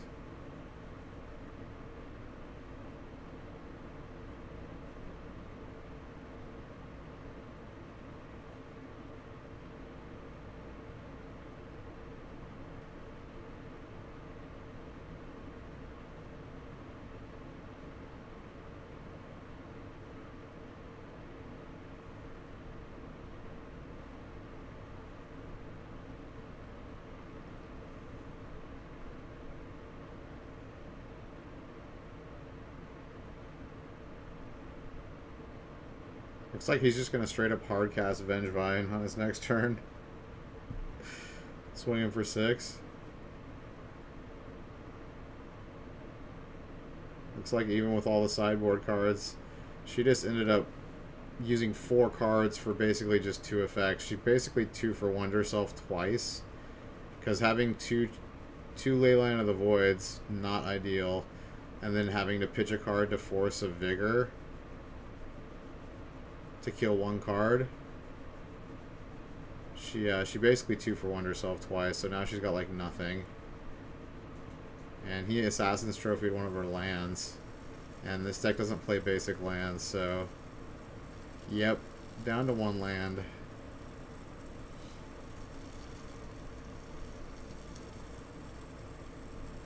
Oh, apparently his version plays at least one basic land, hers does not.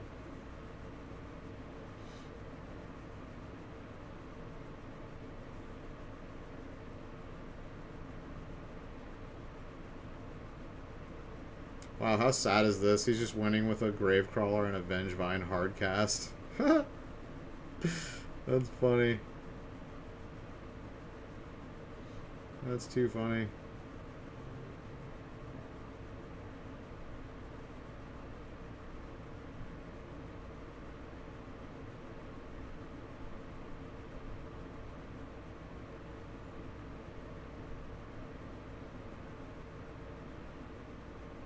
Oh, so lucky. Top decks the one drop creature. Gets her Vengevines out.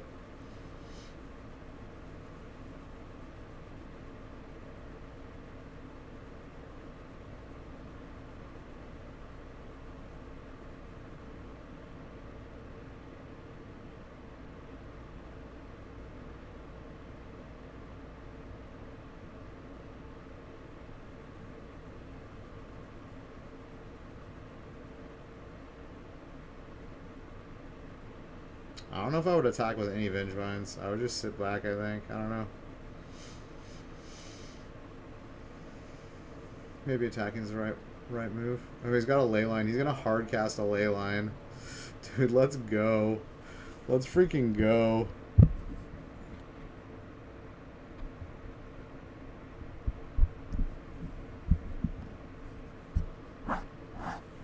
Hard cast that Leyline.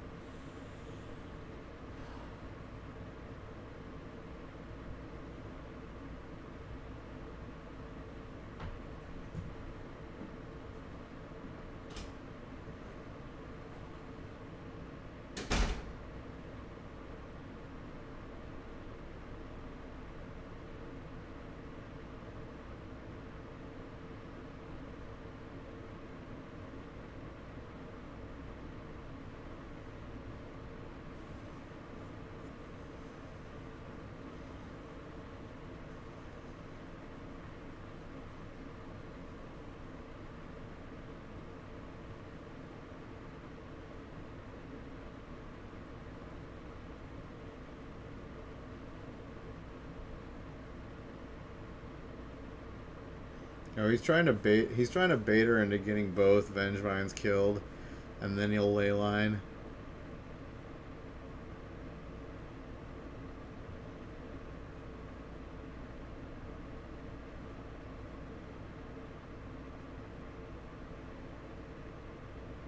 Oh, she's taking the bait too. Oh, he's not going to block it. Okay, I'm really confused what his plan is here. Really confused.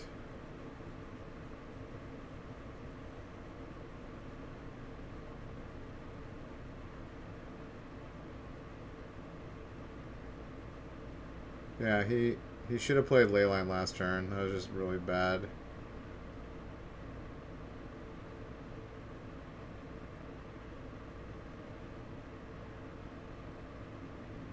Yeah, your Leyline does nothing now, buddy. He got way greedy with that. That was like when I was playing the other night, trying to get a four for one with my with my uh, board wipe. He was trying to do trying to get way too much.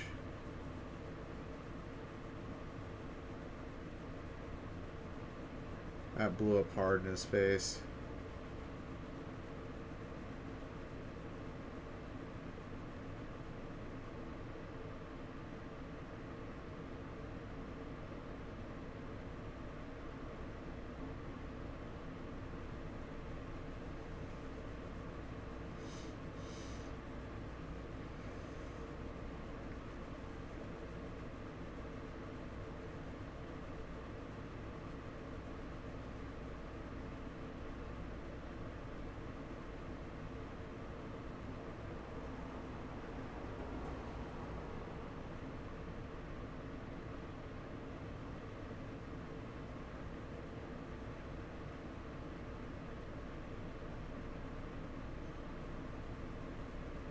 Should have dropped the Leyline, buddy. Should have dropped the Leyline.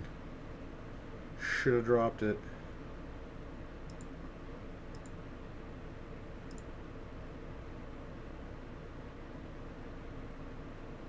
Neoform versus Eldrazi Oh, I've seen this deck, this new deck. The Devoted Neoform. Oh, no, no, this one has Devoted Druid. Okay, this I haven't seen this one. Alright, yes I have. I've seen the two versions of this deck, I think. Basically Neoform is one green, one blue, sacrifice a creature, go get a creature from your graveyard or from your library that costs one CMC higher. Or up to one CMC higher.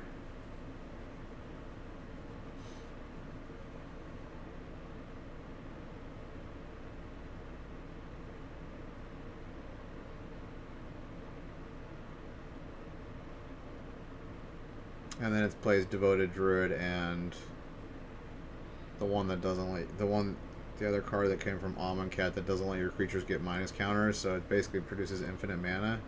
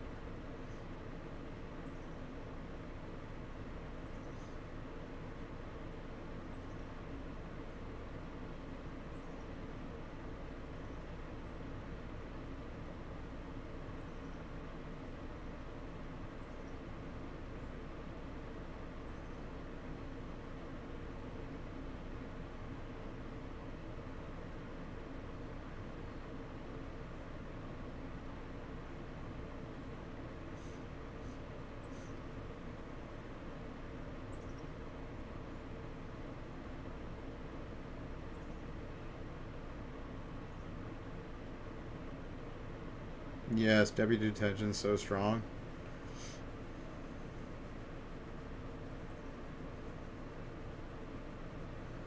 Snaps up the Grafdigger cage.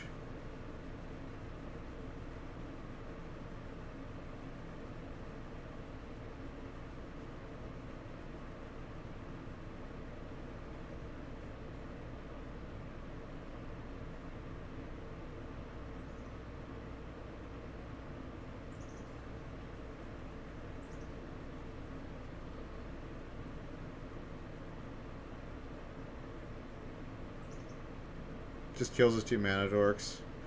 Probably a good call.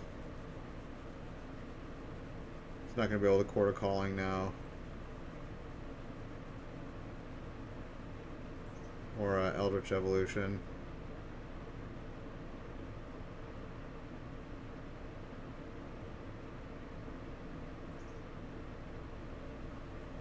Oh, Thought-Knot top deck. So strong.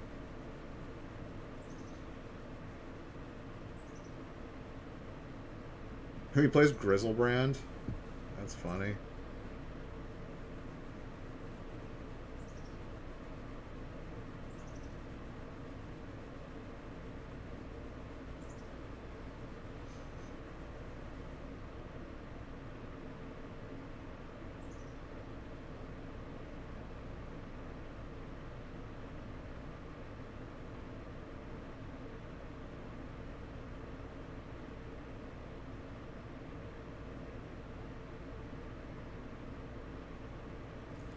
Maybe I should put the, uh...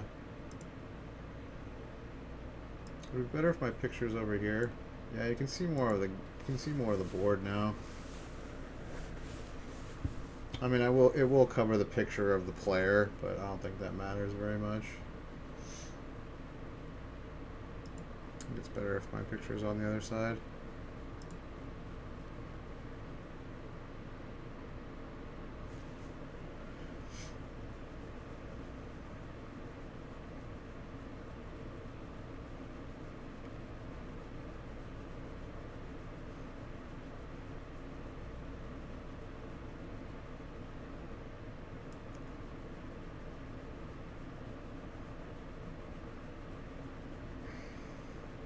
Alright, he's got Karn the Great Creator now.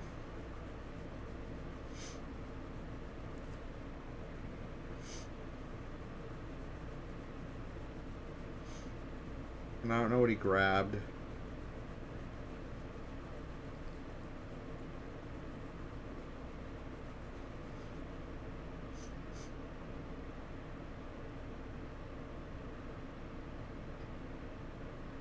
Dude, what is with your shuffling, buddy?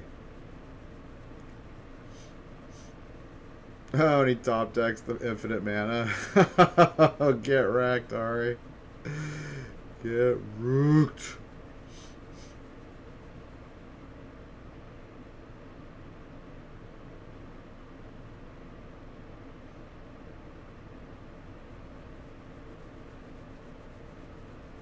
Talk decks the Vizier of Remedies.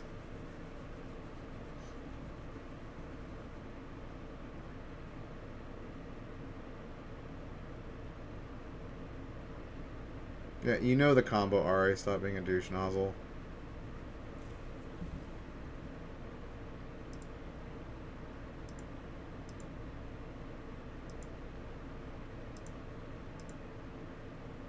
Uh, Alright, GG's. Oh shit, total number of copies being played.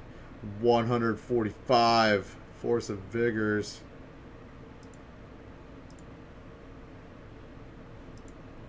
One forty six Narsets. 229 Force Negations. Damn, 260 Karn Great Creators. 379 Carrion Feeders. 422 Hogaaks. All main deck. Dang.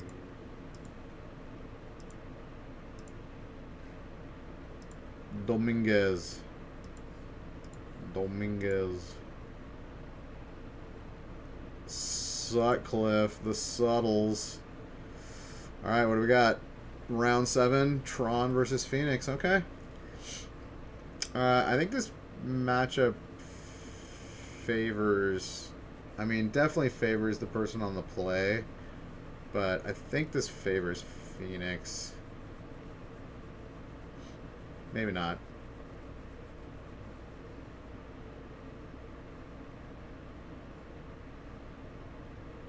I mean, turn three Karn is always just strong, but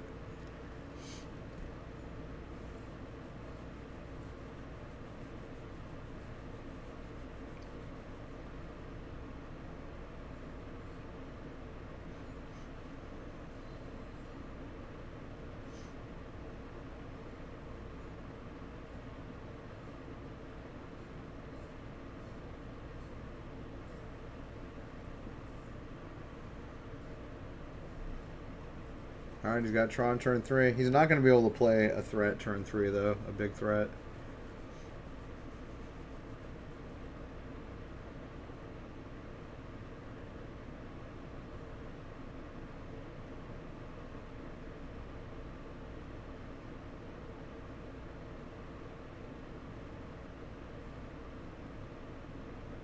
Alright, Tron assembled. He's going to be able to play Ugin the Spirit Dragon. Sack Sanctum of Ugin. Go get a Karn next turn. And then play Karn the next turn. Yeah, I think I think uh, Tron might have this game, just straight up.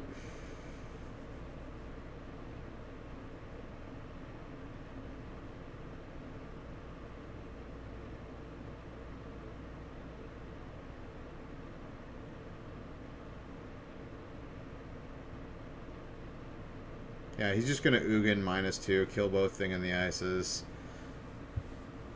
And just like went off that.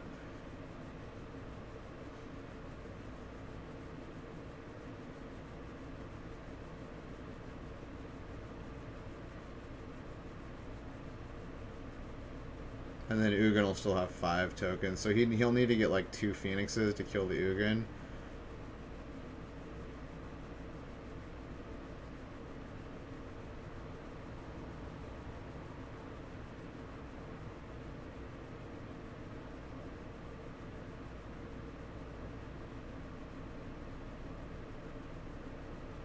He's not going to sack Sanctum of Ugin. Okay. That's, uh... I guess he wants to play Ulamog. That's why he's trying to keep as much mana as possible, but... I think just a solid next turn play Karn. I guess he can play Wurmcoil Engine. That's not the strongest play. I think Karn's stronger than that, but...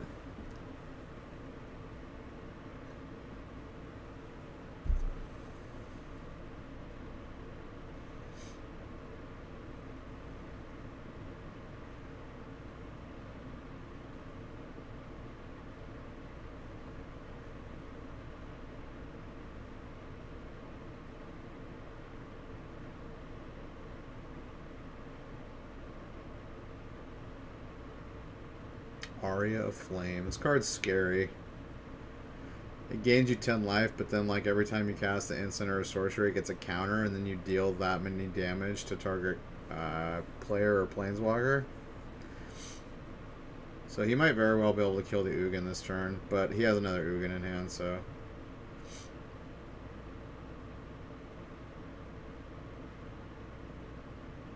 Yeah, he's gonna Lava Dart Ugin, get one damage off the Aria. And then Lava Dart it again and get two damage off the Aria. He'll kill the Ugin here, but...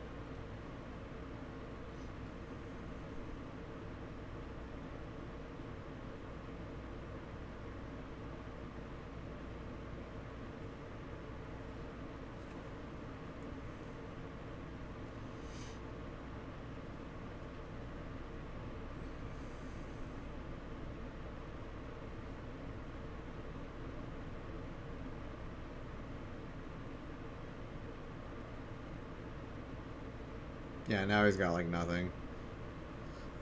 Except the Aria, and if the Aria dies here, which it's going... Oh wait, no, he doesn't have another Ugin. He has Ulamog and Wurmcoil.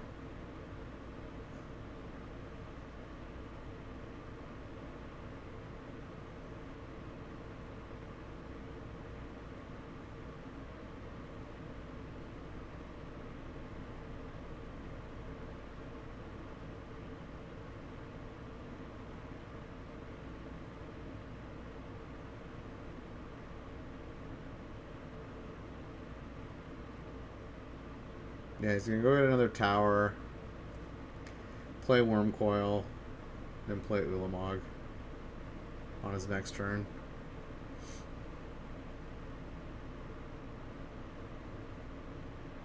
Although I still think just like playing Karn this turn and just killing the, the Aria would have just been like, I don't know. I guess that leaves him vulnerable to a Phoenix which would kill the Karn. He taps left. yes, he does. At least he put he doesn't put try to put his creatures behind his lands. I hate people that do that. It's not the correct way to play. Wager finale of promise. That's really good. But he didn't draw land. Bummer.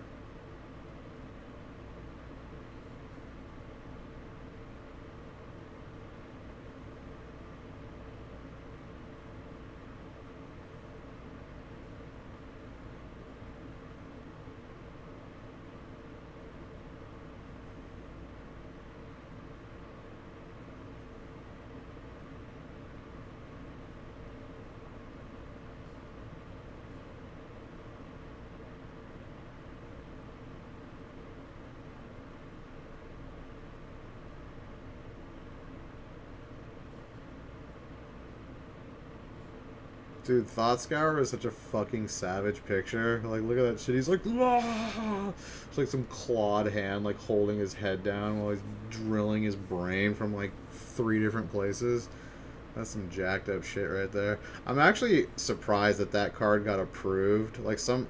There are a few Magic cards that are really, really, like... Like, scarily, like, violent, bloody. Like, there's even blood coming out of his eye and, like, dripping down his face. I bet that card barely like made it past the like approval process. There's a few cards that look like they just barely made it, but I think that's cool. Like I'm gl- I'm glad that they like you know, the grit, the gritty artwork.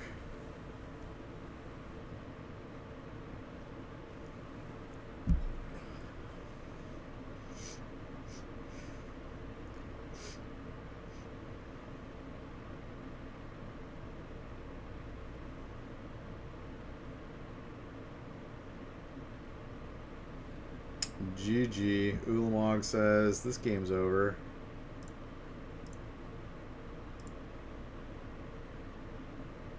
Tomofumi Okada. Bernardo Santos. What is this? Phoenix versus Phoenix? No, Phoenix versus Hogaak. Yeah, I don't really care about that. Okay, game two. You got some uh, cantripping.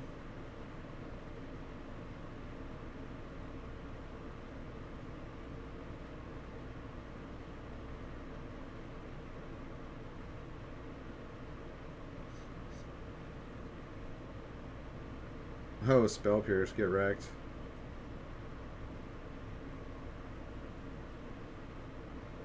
He's got all the interaction, and he's got Force of Negation in his hand. Let's go.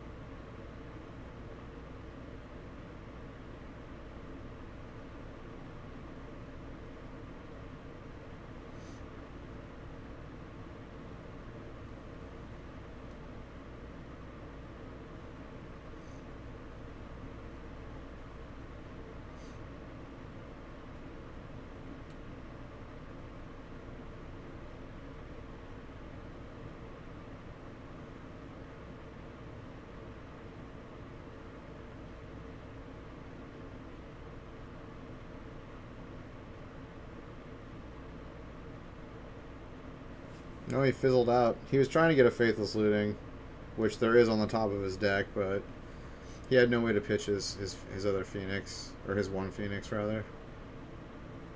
Was he going to force a negation? Okay, here's a here's a risky thing for this Phoenix deck. If it gives up too much of its components to, like, cycle through, then it just, like, can't do anything. Because it, it has to play multiple spells on its turn to, like, do anything, essentially.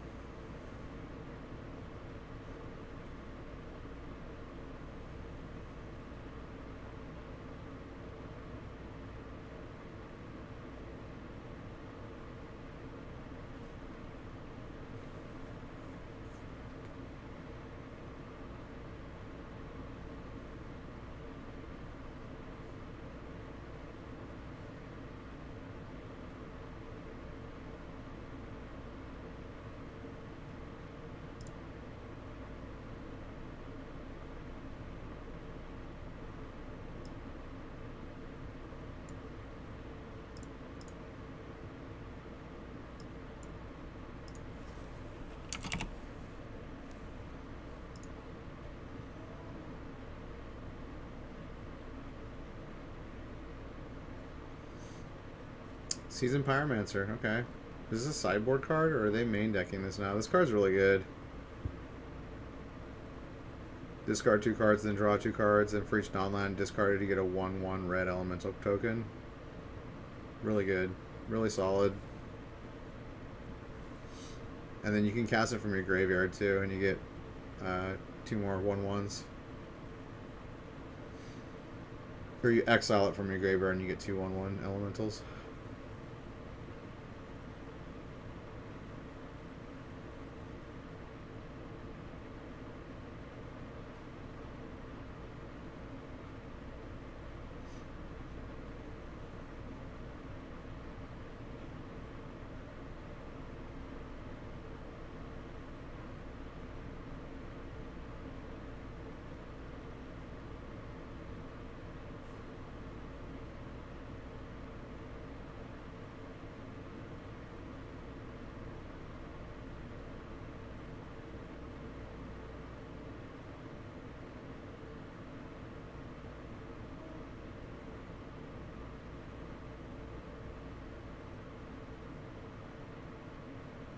Alright, finally found Tron.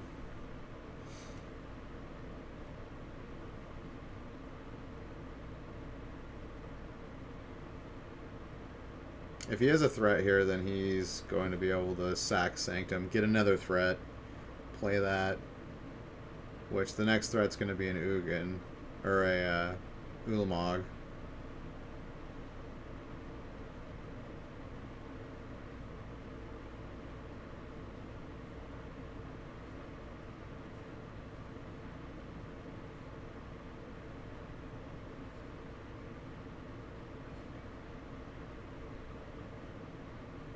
Alright, he's got he found three phoenixes though. Okay. That's uh 9, 10, 11, 13 damage. Actually, maybe he just wins this. He needs a uh an Ugin to board wipe this. Or a uh Oblivion Stone, or he's gonna lose. There's too many targets. He can't like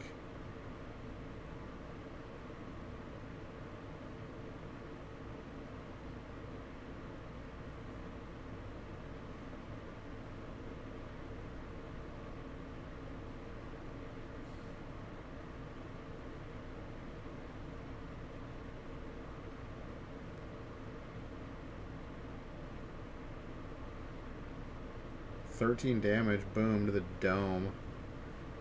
That's what happens when you get lucky with phoenixes. Boom. It's crazy.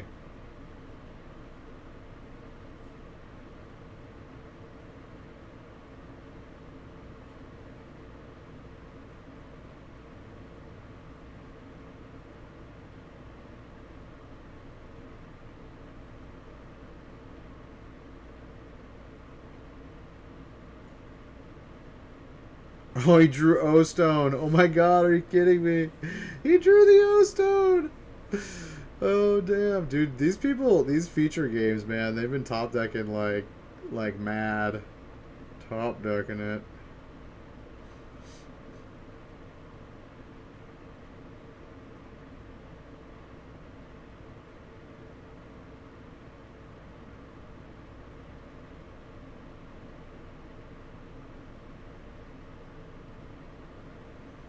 I mean, like, he's going to be able to get those back next turn. Yeah, this is only going to save him for one turn. Really, the card he wanted was Ugin, because Ugin exiles. Yeah, he loses.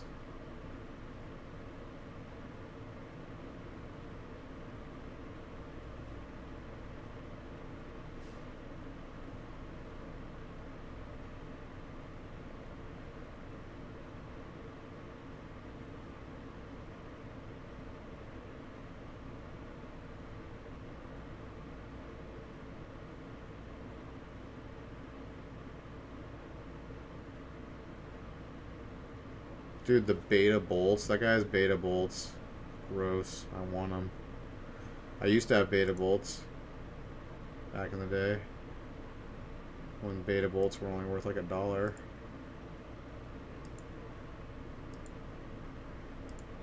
Beta cards, like, for the first, like, 10 years of Magic were just not worth very much. People didn't really care. Same with basic lands. Like basic lands didn't become like this commodity until like seven, eight years into the game. Like no one cared about basic lands. It was really weird when like there started being all these like you know full art basics and all these like rare like basic lands. All right, game three. Looks like he starred, chromatic starred, and then ancient stirrings. And we got one faithless looting on the Phoenix side. Ooh, stirring number two. Looking for that mine. Ooh, didn't find it.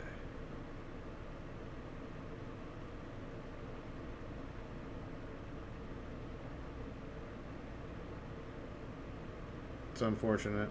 Oh, he's grabbing Ulamog? Okay. I mean, you might as well grab a threat. He doesn't have any threats in his hand. Well, I think he has a Karn, but yeah.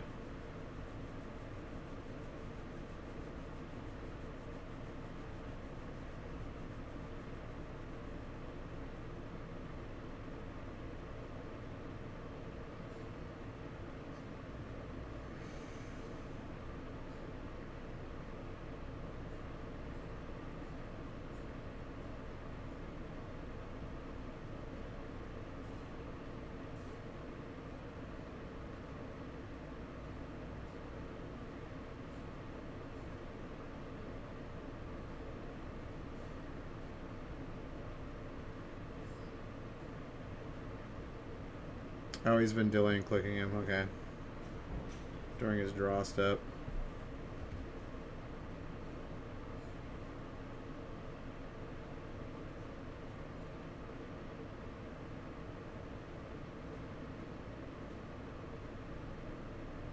Dude, look at that German Vergessenseisen. the German uh,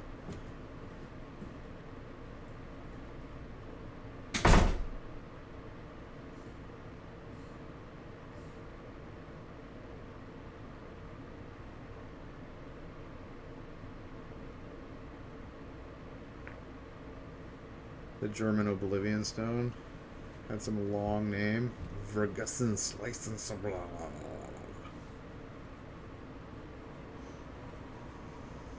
There are some long German words. Geburtstag geschenkt means birthday present, by the way. Nice little word everyone should know.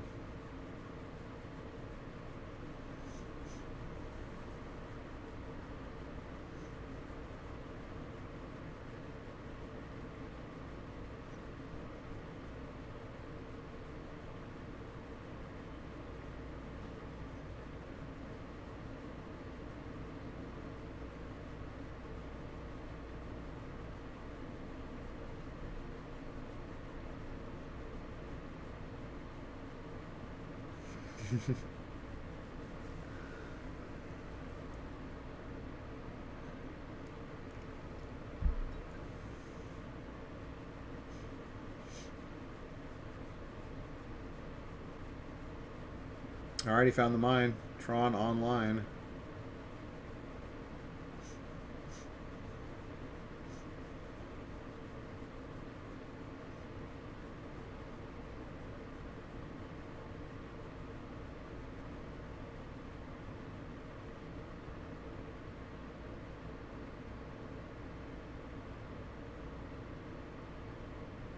Alright, he's got the abrade for it.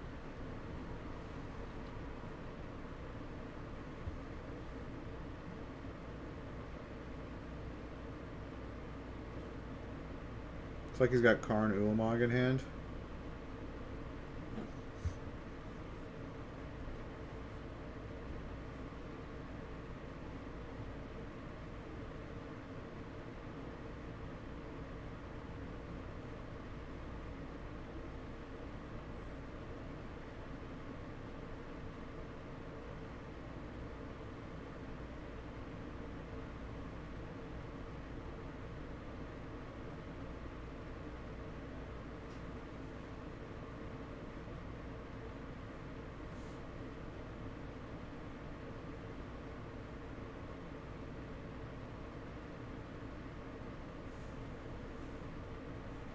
Oof.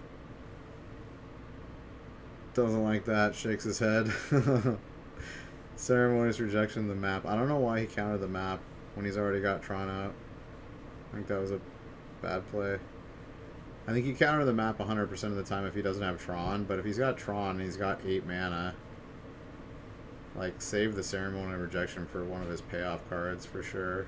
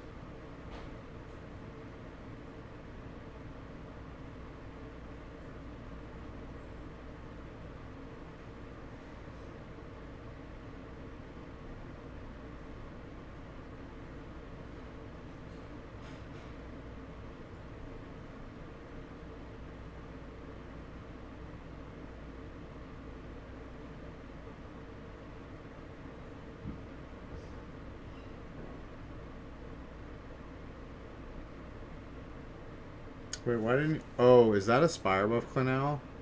Oh, he, if he had another mana, he could have Lightning Bolted and got the Phoenix back and killed Karn. That would have been really. I don't oh, know. It would have gotten Karn to one.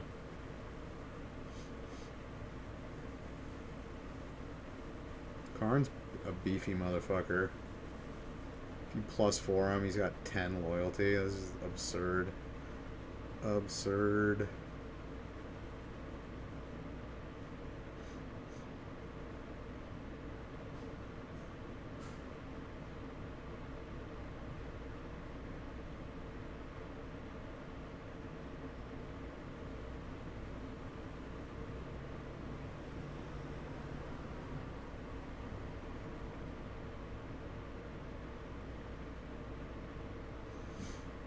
Yeah, now his Karn's like unkillable.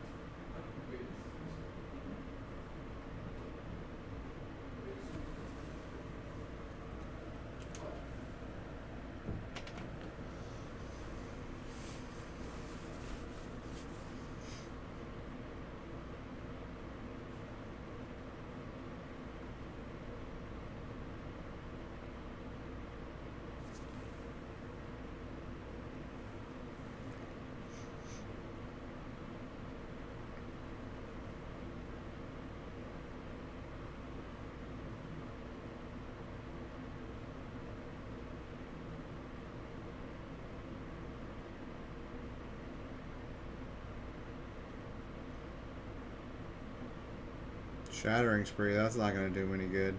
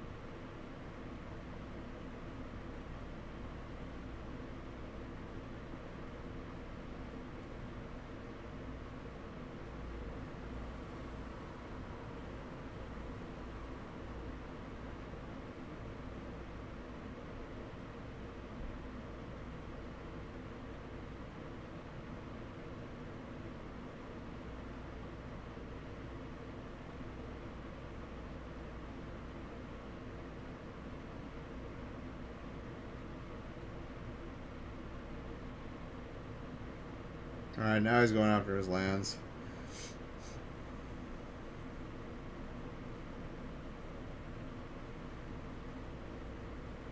And when he plays Ulamog here and just kills the other two lands, right?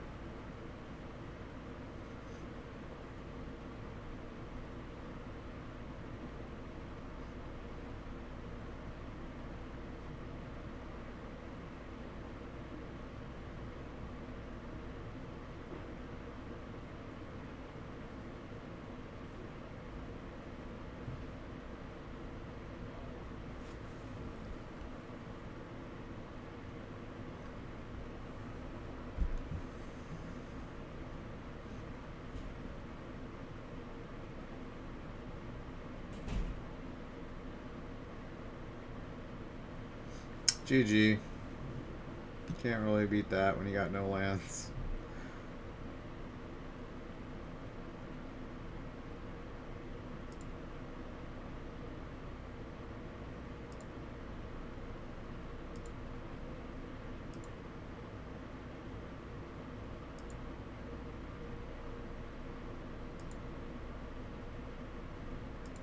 No time walk matches?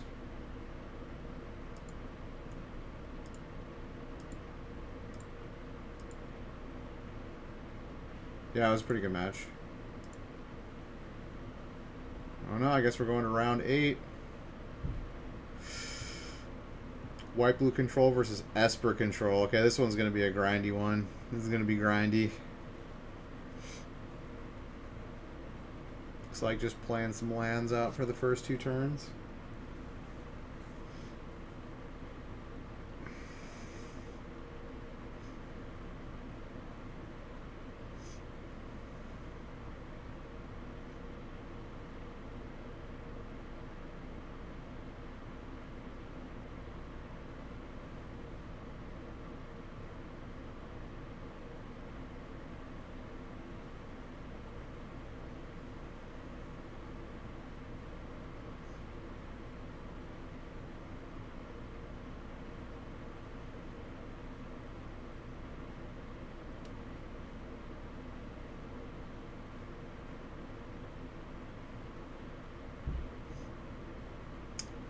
Dos Frenchman, yes.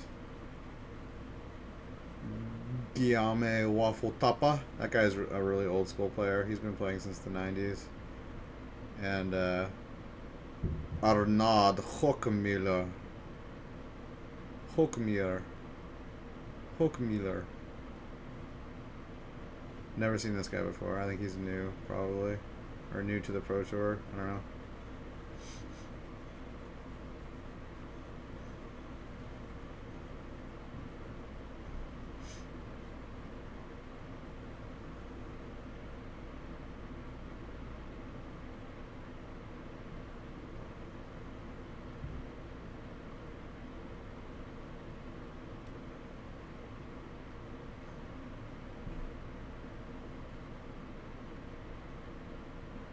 But apparently Guillaume is not a fast, not a fast control player.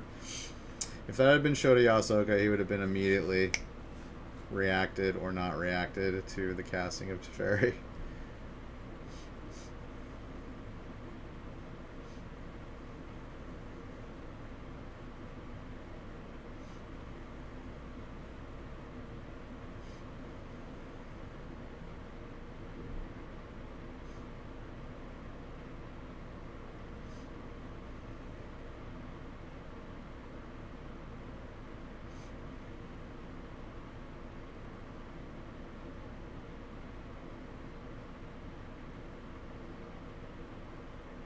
Bounce the Snapcaster, right? I think you just bounce the Snapcaster, draw a card. And you don't want it attacking you.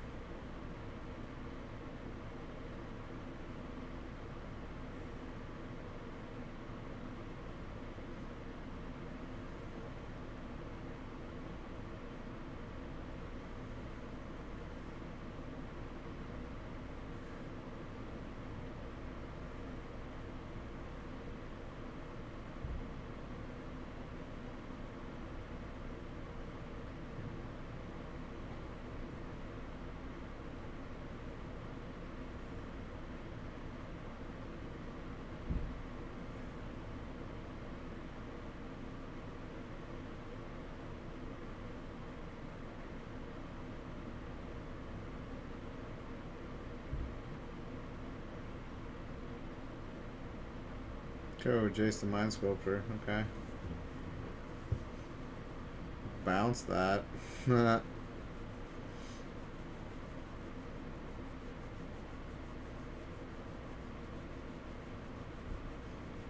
this is a night. Oh, he's just gonna scoop him up, dude. Like that's like the nightmare. He just knows. Like, Teferi Time Raveler makes it so you can't cast any spells outside of sorcery speed. So like against a control deck, that's so good. He can't cast any counter magic. He can't cast any flash for Snapcaster. Like, it's just over. Once he got Jace out too, it's just like, what can you do? Like, there's no Planeswalker board wipe that's played.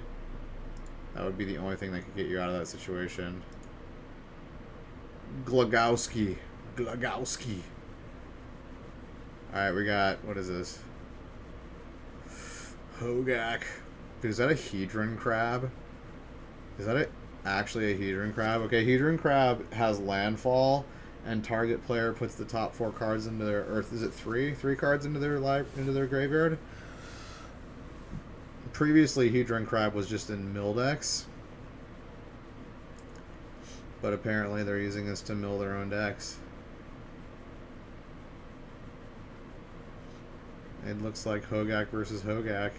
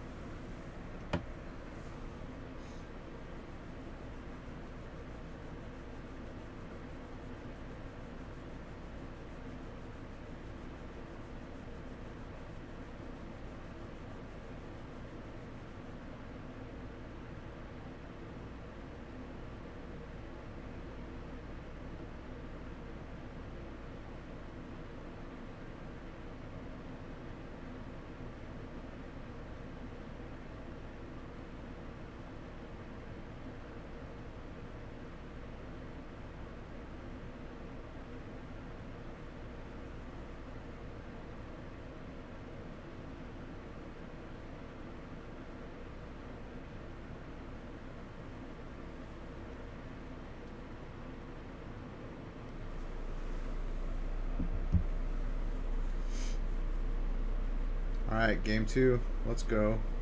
Mm-hmm.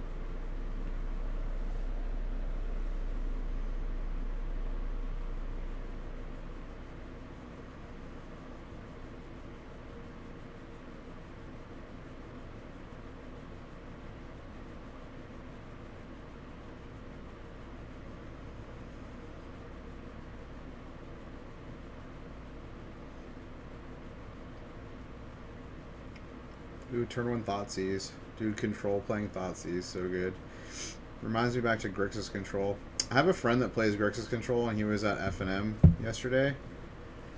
Uh, and he went 4-1 with it. Like, I think, like, now that, like, you know, you've got, like, Narset and, like, some other cool things, Control has, like, got kind of a better foothold into Modern again. Alright, he's going to take an Opt from him.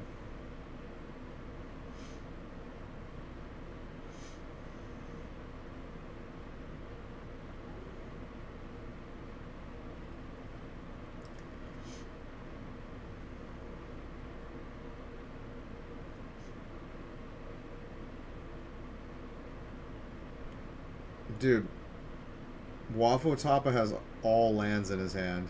He kept a hand with six lands, or five lands and a Thoughtseize. Okay. Did he mulligan? Six. Or five, six, seven, eight? No, he didn't. He kept a line with six lands and a Thoughtseize. That's crazy. I mean, like, hitting land drops in this mirror is, like, really important. But if he, like, sneaks out of Teferi again, this is going to be, like, game over.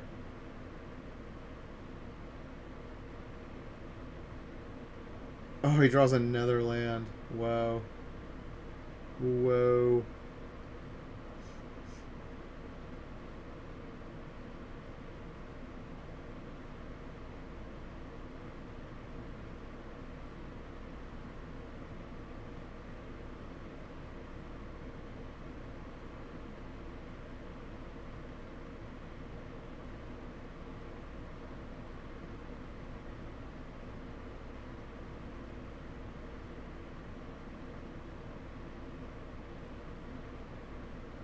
I mean, he's probably just going to run out this Monastery Mentor. Which can get out of hand really quick.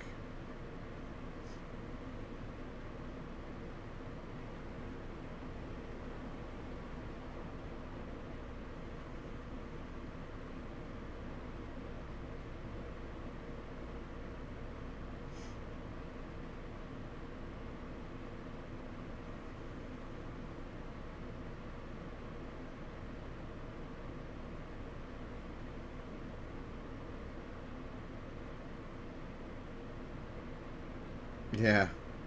I mean, his thinking was that, like, he doesn't want to go down to six cards against a, a match that's going to be a grindy match. And it's better to keep a hand that's that's land heavy than land light, especially with this with two control decks. Because again, like you want to hit your land drop every turn. Wow, he drew another land. A blast zone. At least it's a utility land. It can actually do something, but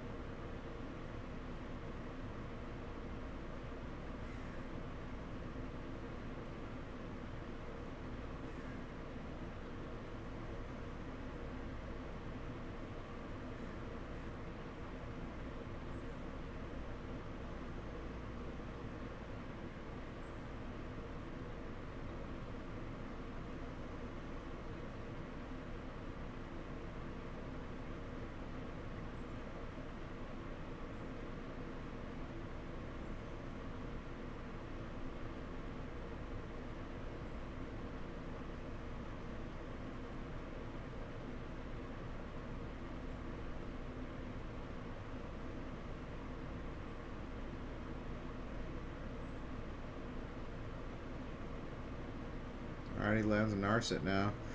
Yeah.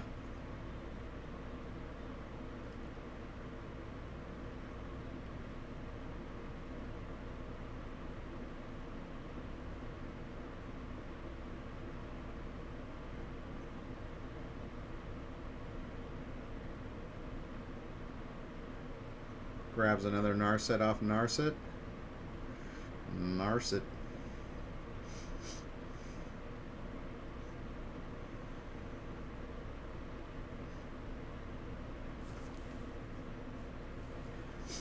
Alright, he finally drew something.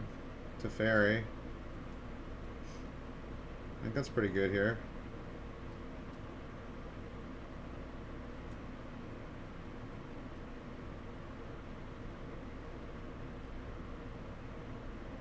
I think he just plays Teferi and draws a card.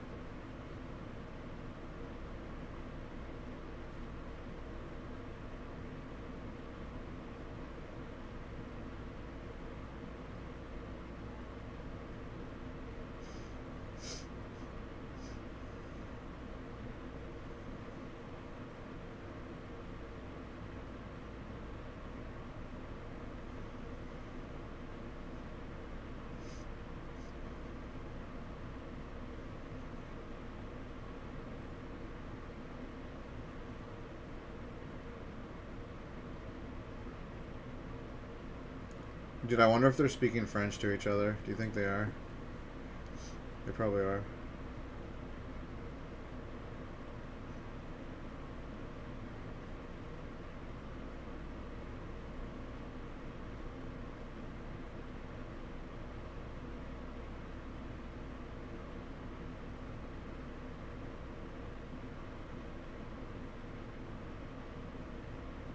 Oh, he couldn't draw a card off. He couldn't draw a card off because Narset's in play. I totally forgot. Dude, Narset's just static ability is opponents can't draw more than one card a turn. So he basically just had to throw out to Teferi and plus to him, and that's all he did. He couldn't draw a card off of it. That sucks. Dude, Narset's so good. Yeah, his hand is absolutely stacked. Just straight up stacked.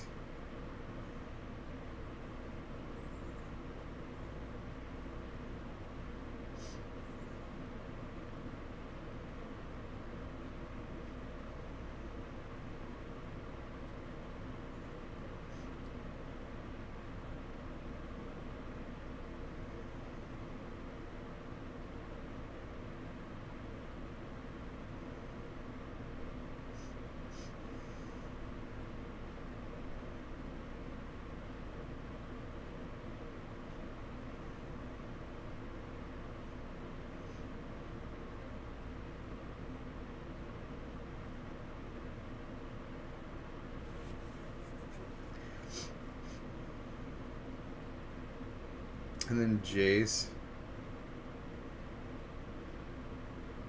Does Brainstorm on Jace actually say draw? I think it does. So he can't Jace either. That's so bad. Dude, Narset's so good.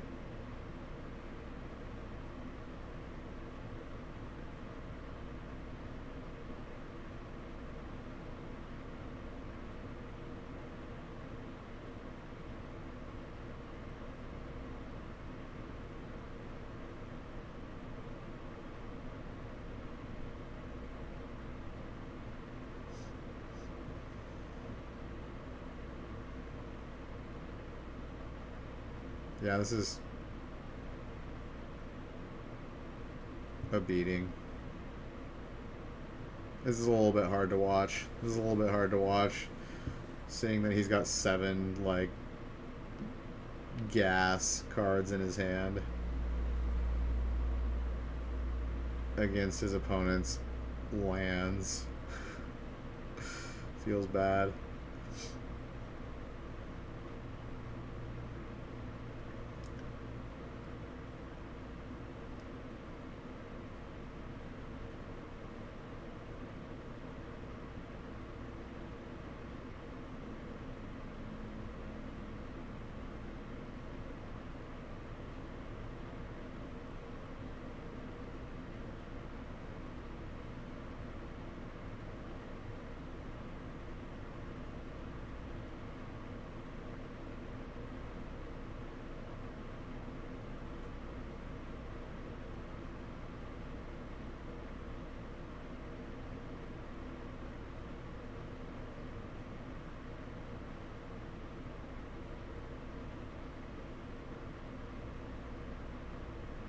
Bouncing Teferi, drawing a card.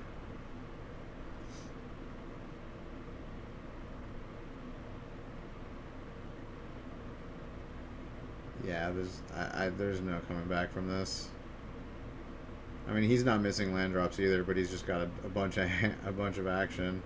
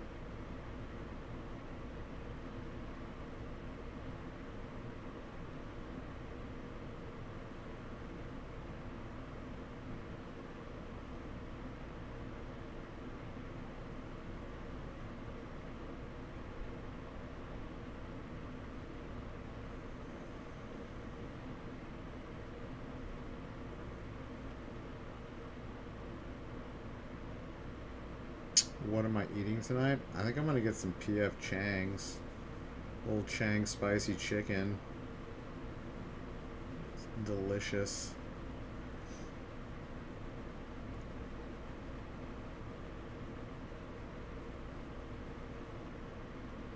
Like they're consistently like really good. Like I used to go to this different Chinese place that was more of like a mom and pop type place, but they like like one in three times it was just not the greatest. Like their chicken quality, I don't know. But and then I switched to PF Chang's and like PF Chang's is just like consistent. Like every time it's good. Yeah, chili, nice.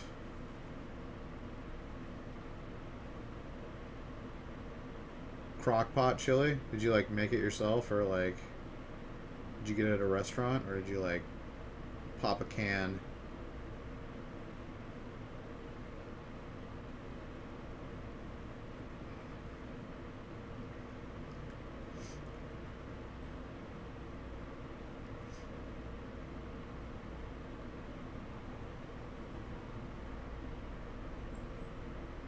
Cooked it nice. Was it traditional chili with no beans, or did it have beans in it?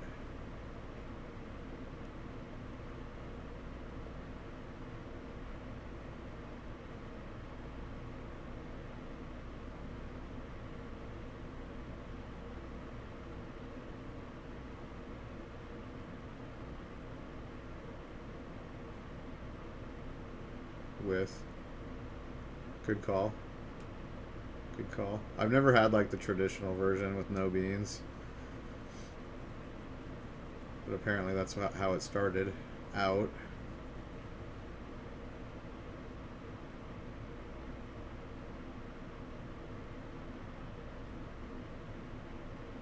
Ugh. Feels bad. Mr. Teferi, welcome to the party. Yeah, he's just like, I'm done. He's like, I'm done. I'm done. GG.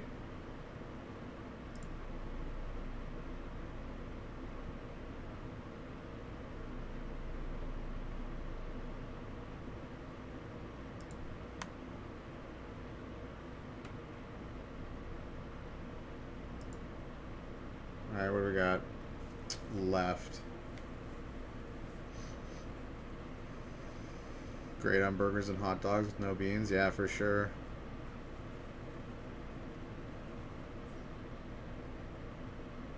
Hardened Scales versus Hogaak. Okay. It's good to see a Hardened Scales deck. He's 6 and 1, so, you know. Doing well.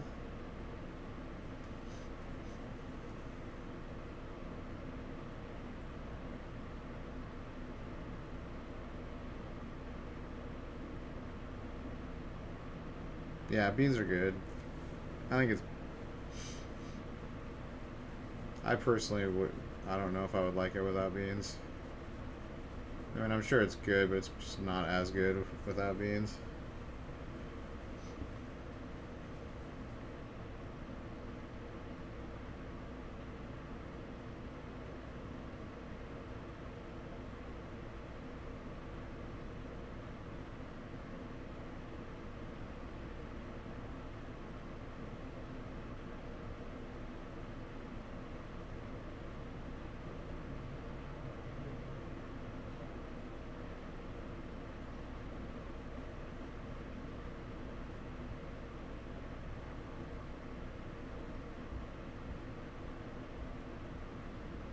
You ever notice that like all like Mexican food is just like the same like five ingredients, but it's like just in different like you make it in different ways. That's why Mexican food's so good, because it's just got five solid ingredients that are just good every time. Just throw them together in different ways, different sauces, you know. Hey, chili's good for you. I mean. Beans is good. I mean, most Mexican food is pretty healthy. Um, except for like empanadas. Well, empanadas are fried, aren't they? Aren't they like the least healthy like Mexican food? I mean, like except for like some carbs and some stuff and like cheese, like Mexican food's pretty good for you. Like burritos are really good. And I, the burritos that I eat, I get brown rice, and I just get like a little bit of brown rice. I don't want like a lot of carbs, you know. So just like black, you know, black beans have like less carbs than than than pintos. Um, you know, a little bit of brown rice, chicken, cheese, and like salsa. I'm not a fan of guacamole. Or sour cream really and re- really both of those are just like not terribly good for you well i guess i guess avocados are like decent they have some good stuff in them but they do have a lot of fat in them too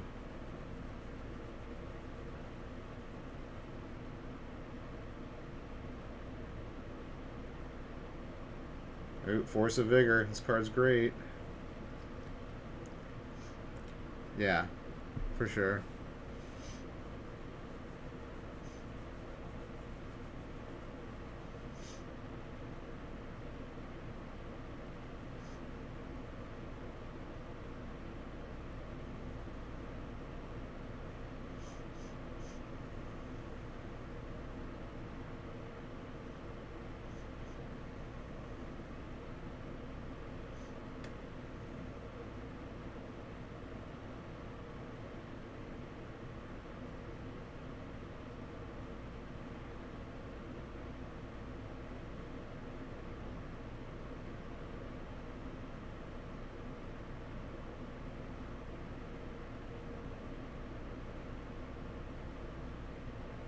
All right, looks looks like both players have no no gas left.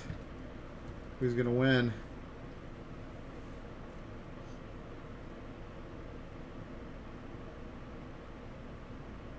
Although he's got two Faithless Lootings in the graveyard, actually, so he's still got stuff to do.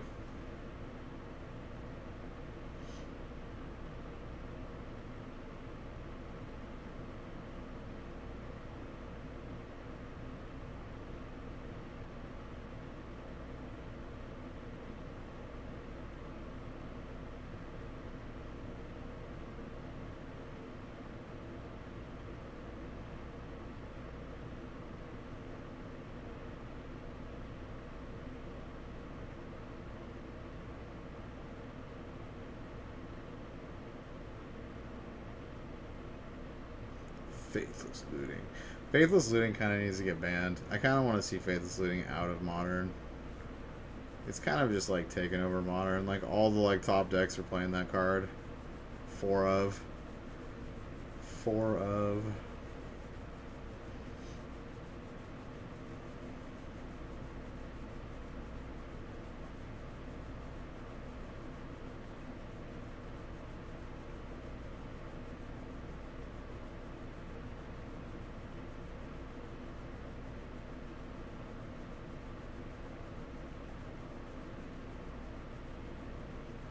Okay, I think this was a really smart move. Okay, he basically got rid of his board. Unfortunately, um, he gets to replay Gravecrawlers from his graveyard. Um, he's not going to be able to do it this turn, and then he just found a he just found a Vengevine too. So he has no sack outlet though. So I think that was the right play. I think getting that the sack outlet off the board was the right thing to do, because he basically had the engine going. And if he didn't do that, he'd, he'd be losing right now. Or he'd be losing next turn for sure.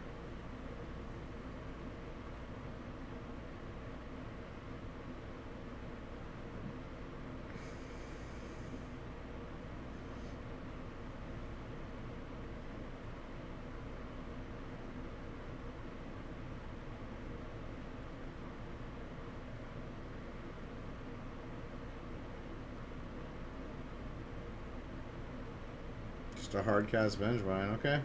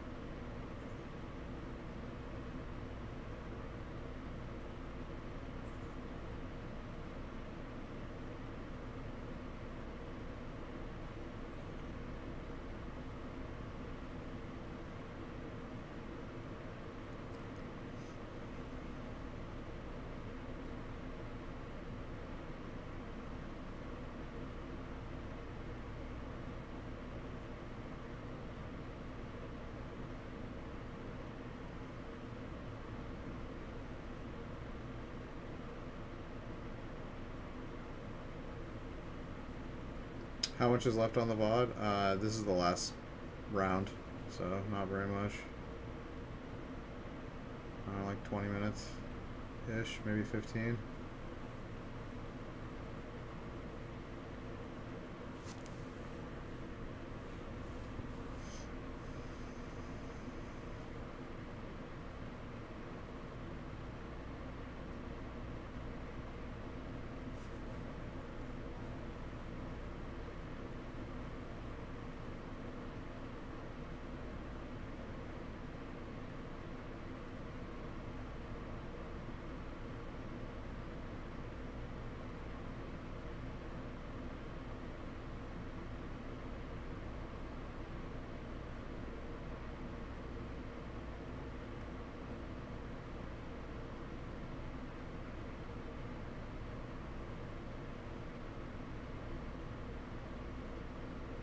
Swinging it for four.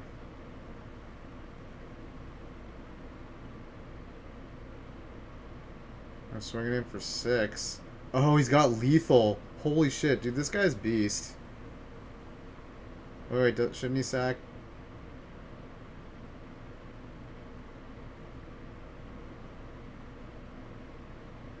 Yeah, dude. That was so smart. He just didn't even let him have another turn. He just straight up had 12 damage. Boom. Dude, that's the power of the Hardened Scales deck, man. You can do crazy tricks with, like, Walking Ballista and uh, Hangerback Walker and Arcbound Ravager and Hardened Scales. You can just, like, move around so many tokens and just do so much damage. It's badass. That deck's pretty sweet.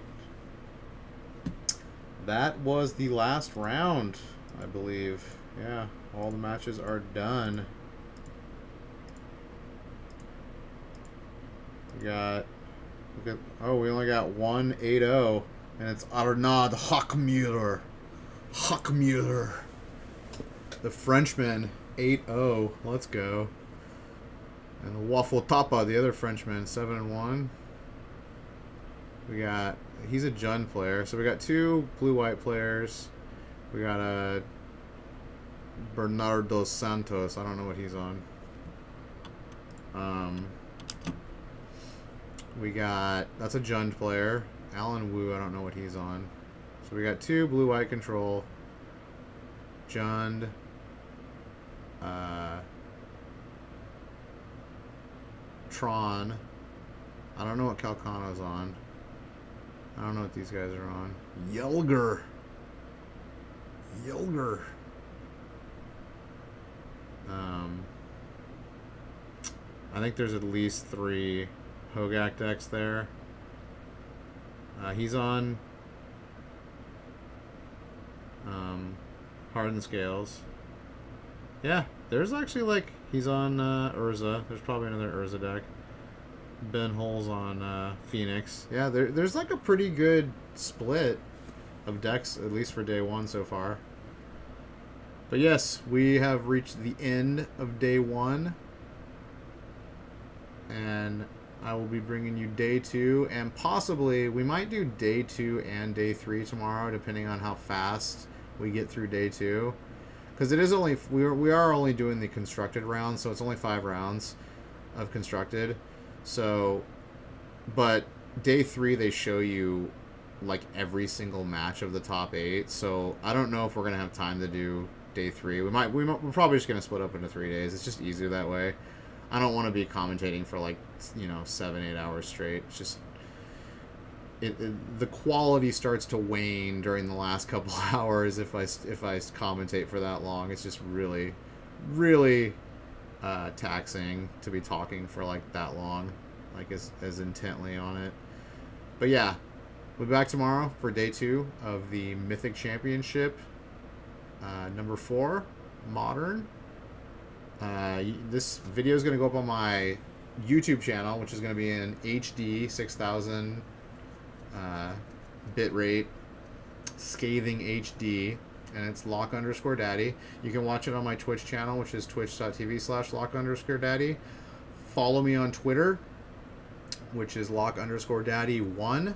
And yeah, we'll see you next time.